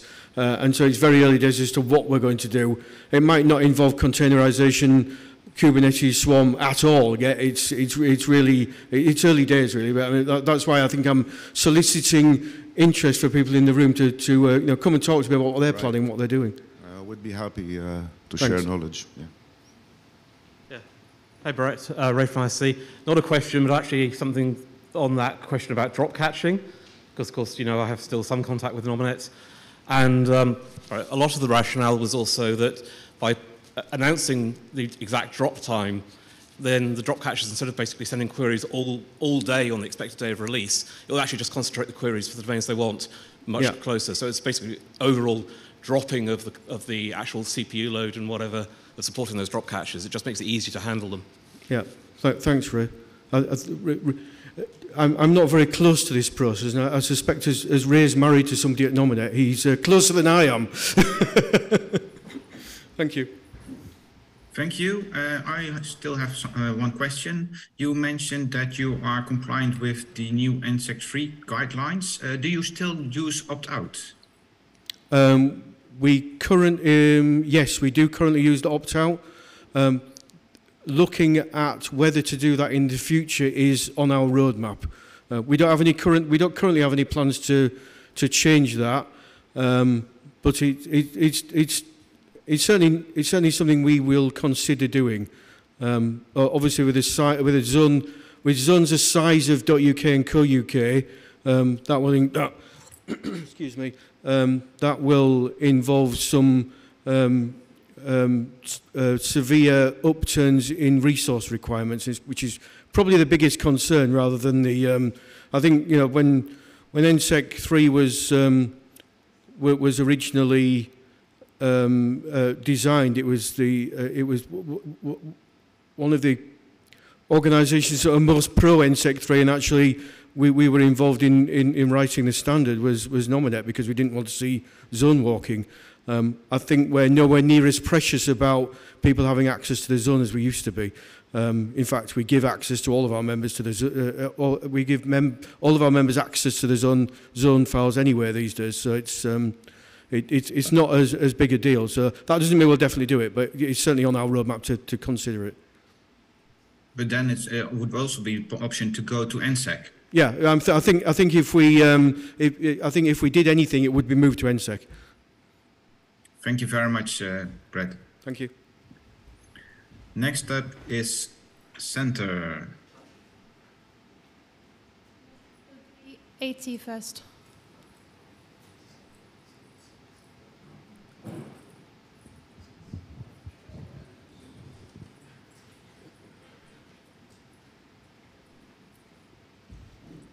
Oh, next is uh, .at. Yes, I, I was I was submitting the slides like um, yesterday or something. Thank you for still considering me. Um, so um, what we what we did, I'm, I'm talking about the operational things here. Um, we do the significant uh, gear revamp. So we we changed our network in the last couple of months. Um, and we also started with a VMware-based private cloud, essentially. So it's Dell hardware that um, replaces uh, a lot of our old um, bare metals hardware. And the migrations are ongoing. And first of all, this is all not work that I've been doing, but feel free to talk to Doris, for example, who has been doing a significant amount of this work here for any details. Um, the GTLD registries that we run since a couple of years um, are sort of our first bigger application that we're going to move on to Kubernetes. Um, and that in turn will run on our VMware cloud. So we have invested a lot of time into getting proper CI/CD pipelines, uh, automated security. Um, there are tons of acronyms in that area, as you know, and um, yeah, we want to automate everything so that we um, actually get to uh, deploying a new TLD essentially in 20 minutes. Um, our RCode Zero DNS service is growing. Um, we have a couple of additional TLDs that we have been onboarding over the last few months. Uh, we have new locations in exotic places such as Iceland. Yeah. Thank you to the Icelandic registry.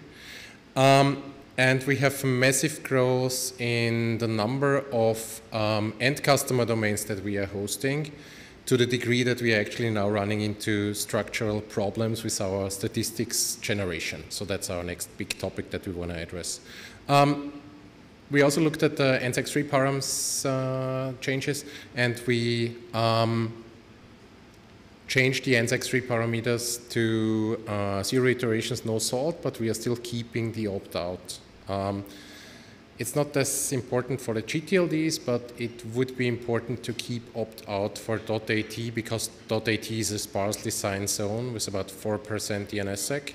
So migrating away from opt-out would like essentially double our memory requirements on 200 plus um, Anycast instances around the world. So that's it from the operational side of things. Any questions? Thank you very much. Thank you. Next up is Ukraine, UA, .ua. Uh, we have no slides, but I was told that Dmitry wanted to say some, uh, something. I emailed the notes, uh, sorry for late. Uh, work on that, yeah. I have my notes, I just had haven't got enough PowerPoint skills to do this last night after the dinner, sorry. But I did email Lydia, and I'll just talk to them, and, well, we'll see. So I think we had a virtual meeting in March when I did speak about our operational situation. Well, it had changed a bit, but I just say quickly, we had migrated, I guess in the first 96 hours, most of primary infrastructure abroad. We still keep that abroad. That includes EPP, backend, registry, database, web, email. Well, email was moved to Google, and uh, primary DNS and DNSSEC signer.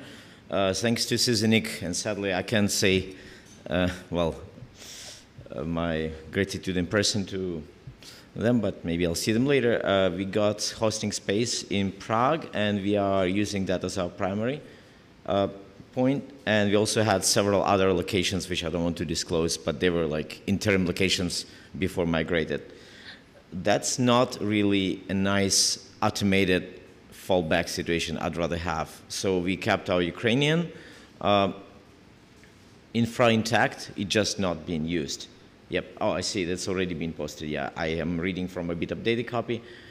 We have thought of using Amazon, frankly, with five people, including two developers. One of them was in occupied territories and he can function because it's Kherson. Now the danger of flooding due to Russians planning to blow up the bridge.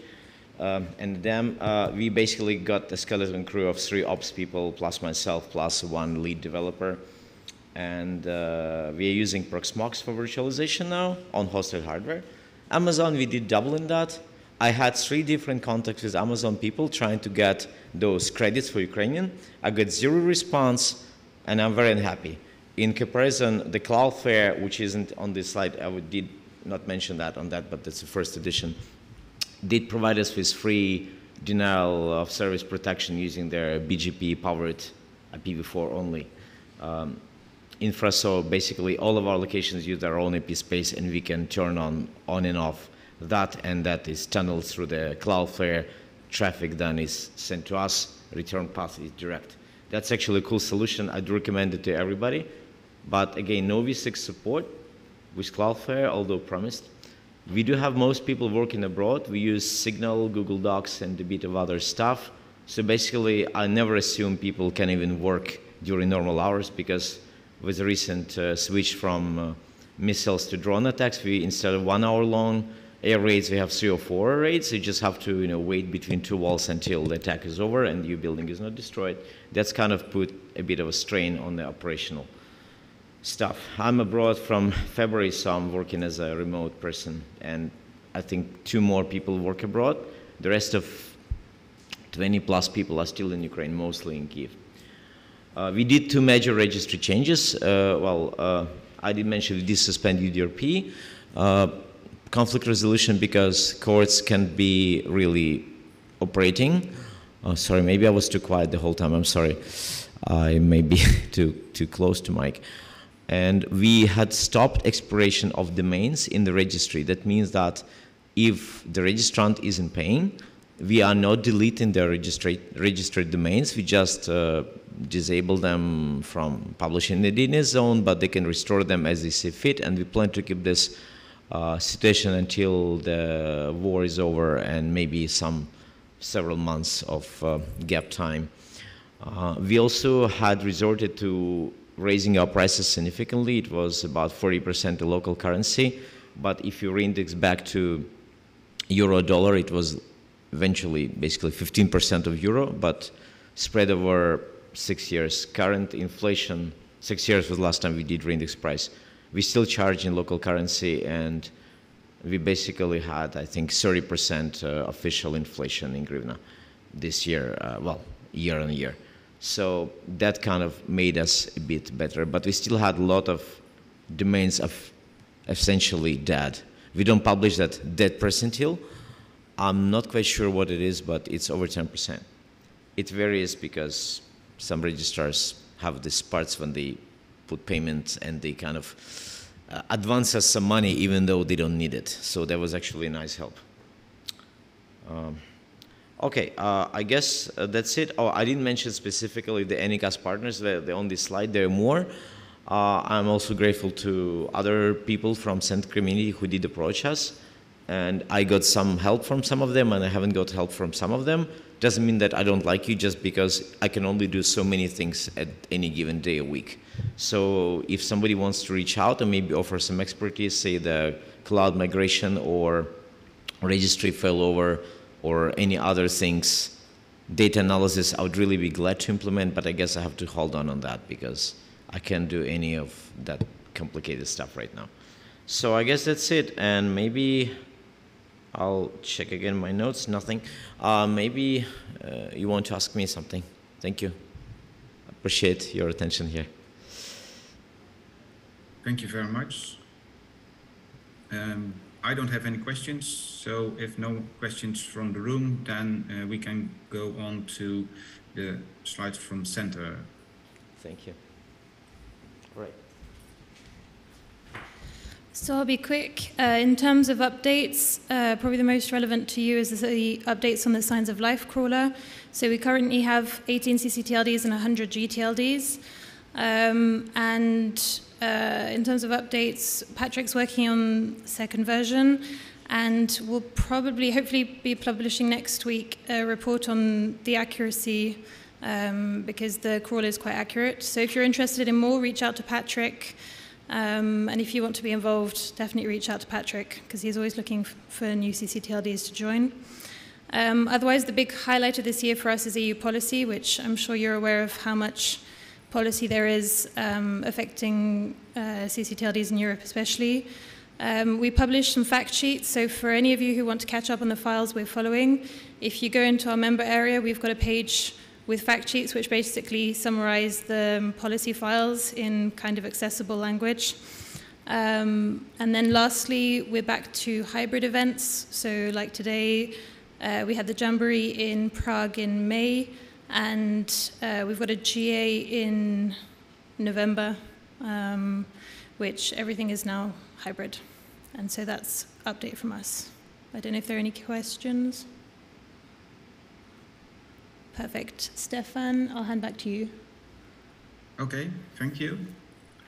And um, from our side, um, we still have the co-chair elections um, because Jaromir's term, um, as mentioned on mailing list, is uh, ending after two years, and he um, is willing to continue. And since we did not receive any other applicant, uh, applicant uh, people who wanted to uh, be co-chair, um, there's no voting involved. And um, I would like to uh, thank Jaromir for continuing as co-chair of the tech working group. Uh, Jaromir, would you like to add something to that? I see clapping of hands. I don't hear it, but I see it. Thank you very much. Uh, Jaromir? Yeah, it's a thank you, and definitely it's a pleasure to work with with this group, and um, I hope that next time I will be able to thank you also in person. okay. Um, on the agenda, we also had uh, uh, slides for NSEC3 discussion, and some of the participants already mentioned in the Tour de Table that they are changing or are going to change the NSEC3 uh, parameters. Um, I created a presentation uh, with room for discussions, because the lot of a lot of slides for the tour de table were very late. So we uh, started with an alternative, but if I look at the time and you want to have some lunch, I will go to this presentation to give some insight what we did at SIDN. Uh, next slide, please. So uh, what is on the agenda for this meeting, you can read for yourself. A very small presentation, so next slide, please. So the changes for uh, .nl, uh, we do remove the opt-out flag. We set the iterations from five to zero, so we were already uh, quite good at uh, the guidelines. We, not, we were not at 150 like some uh, normal domains or second level domains. And we moved from a salt length of eight to zero.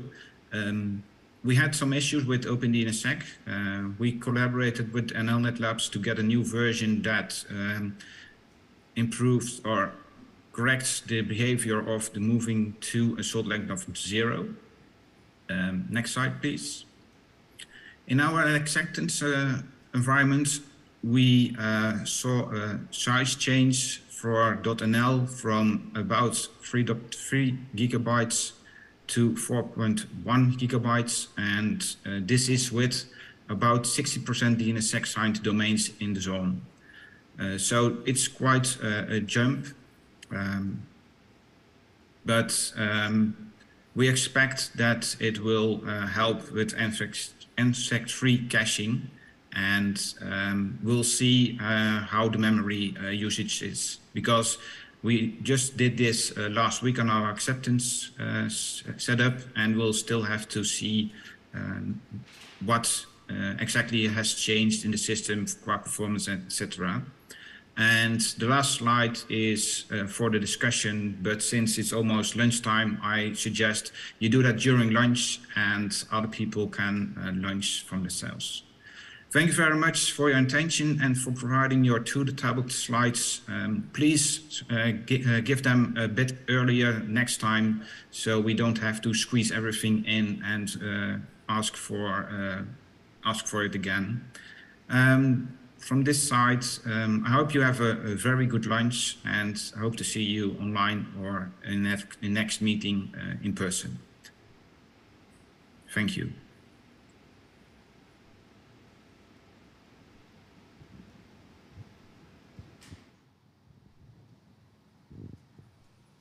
Okay, so I guess that's it for those of you in person. Uh, we're now free for lunch until 2 p.m., so you have an hour and a half. Um, if you have any questions, I guess ask each other, and or um, all the meeting slides will be put on the meeting page and communicated to you. So enjoy lunch. Uh, yes.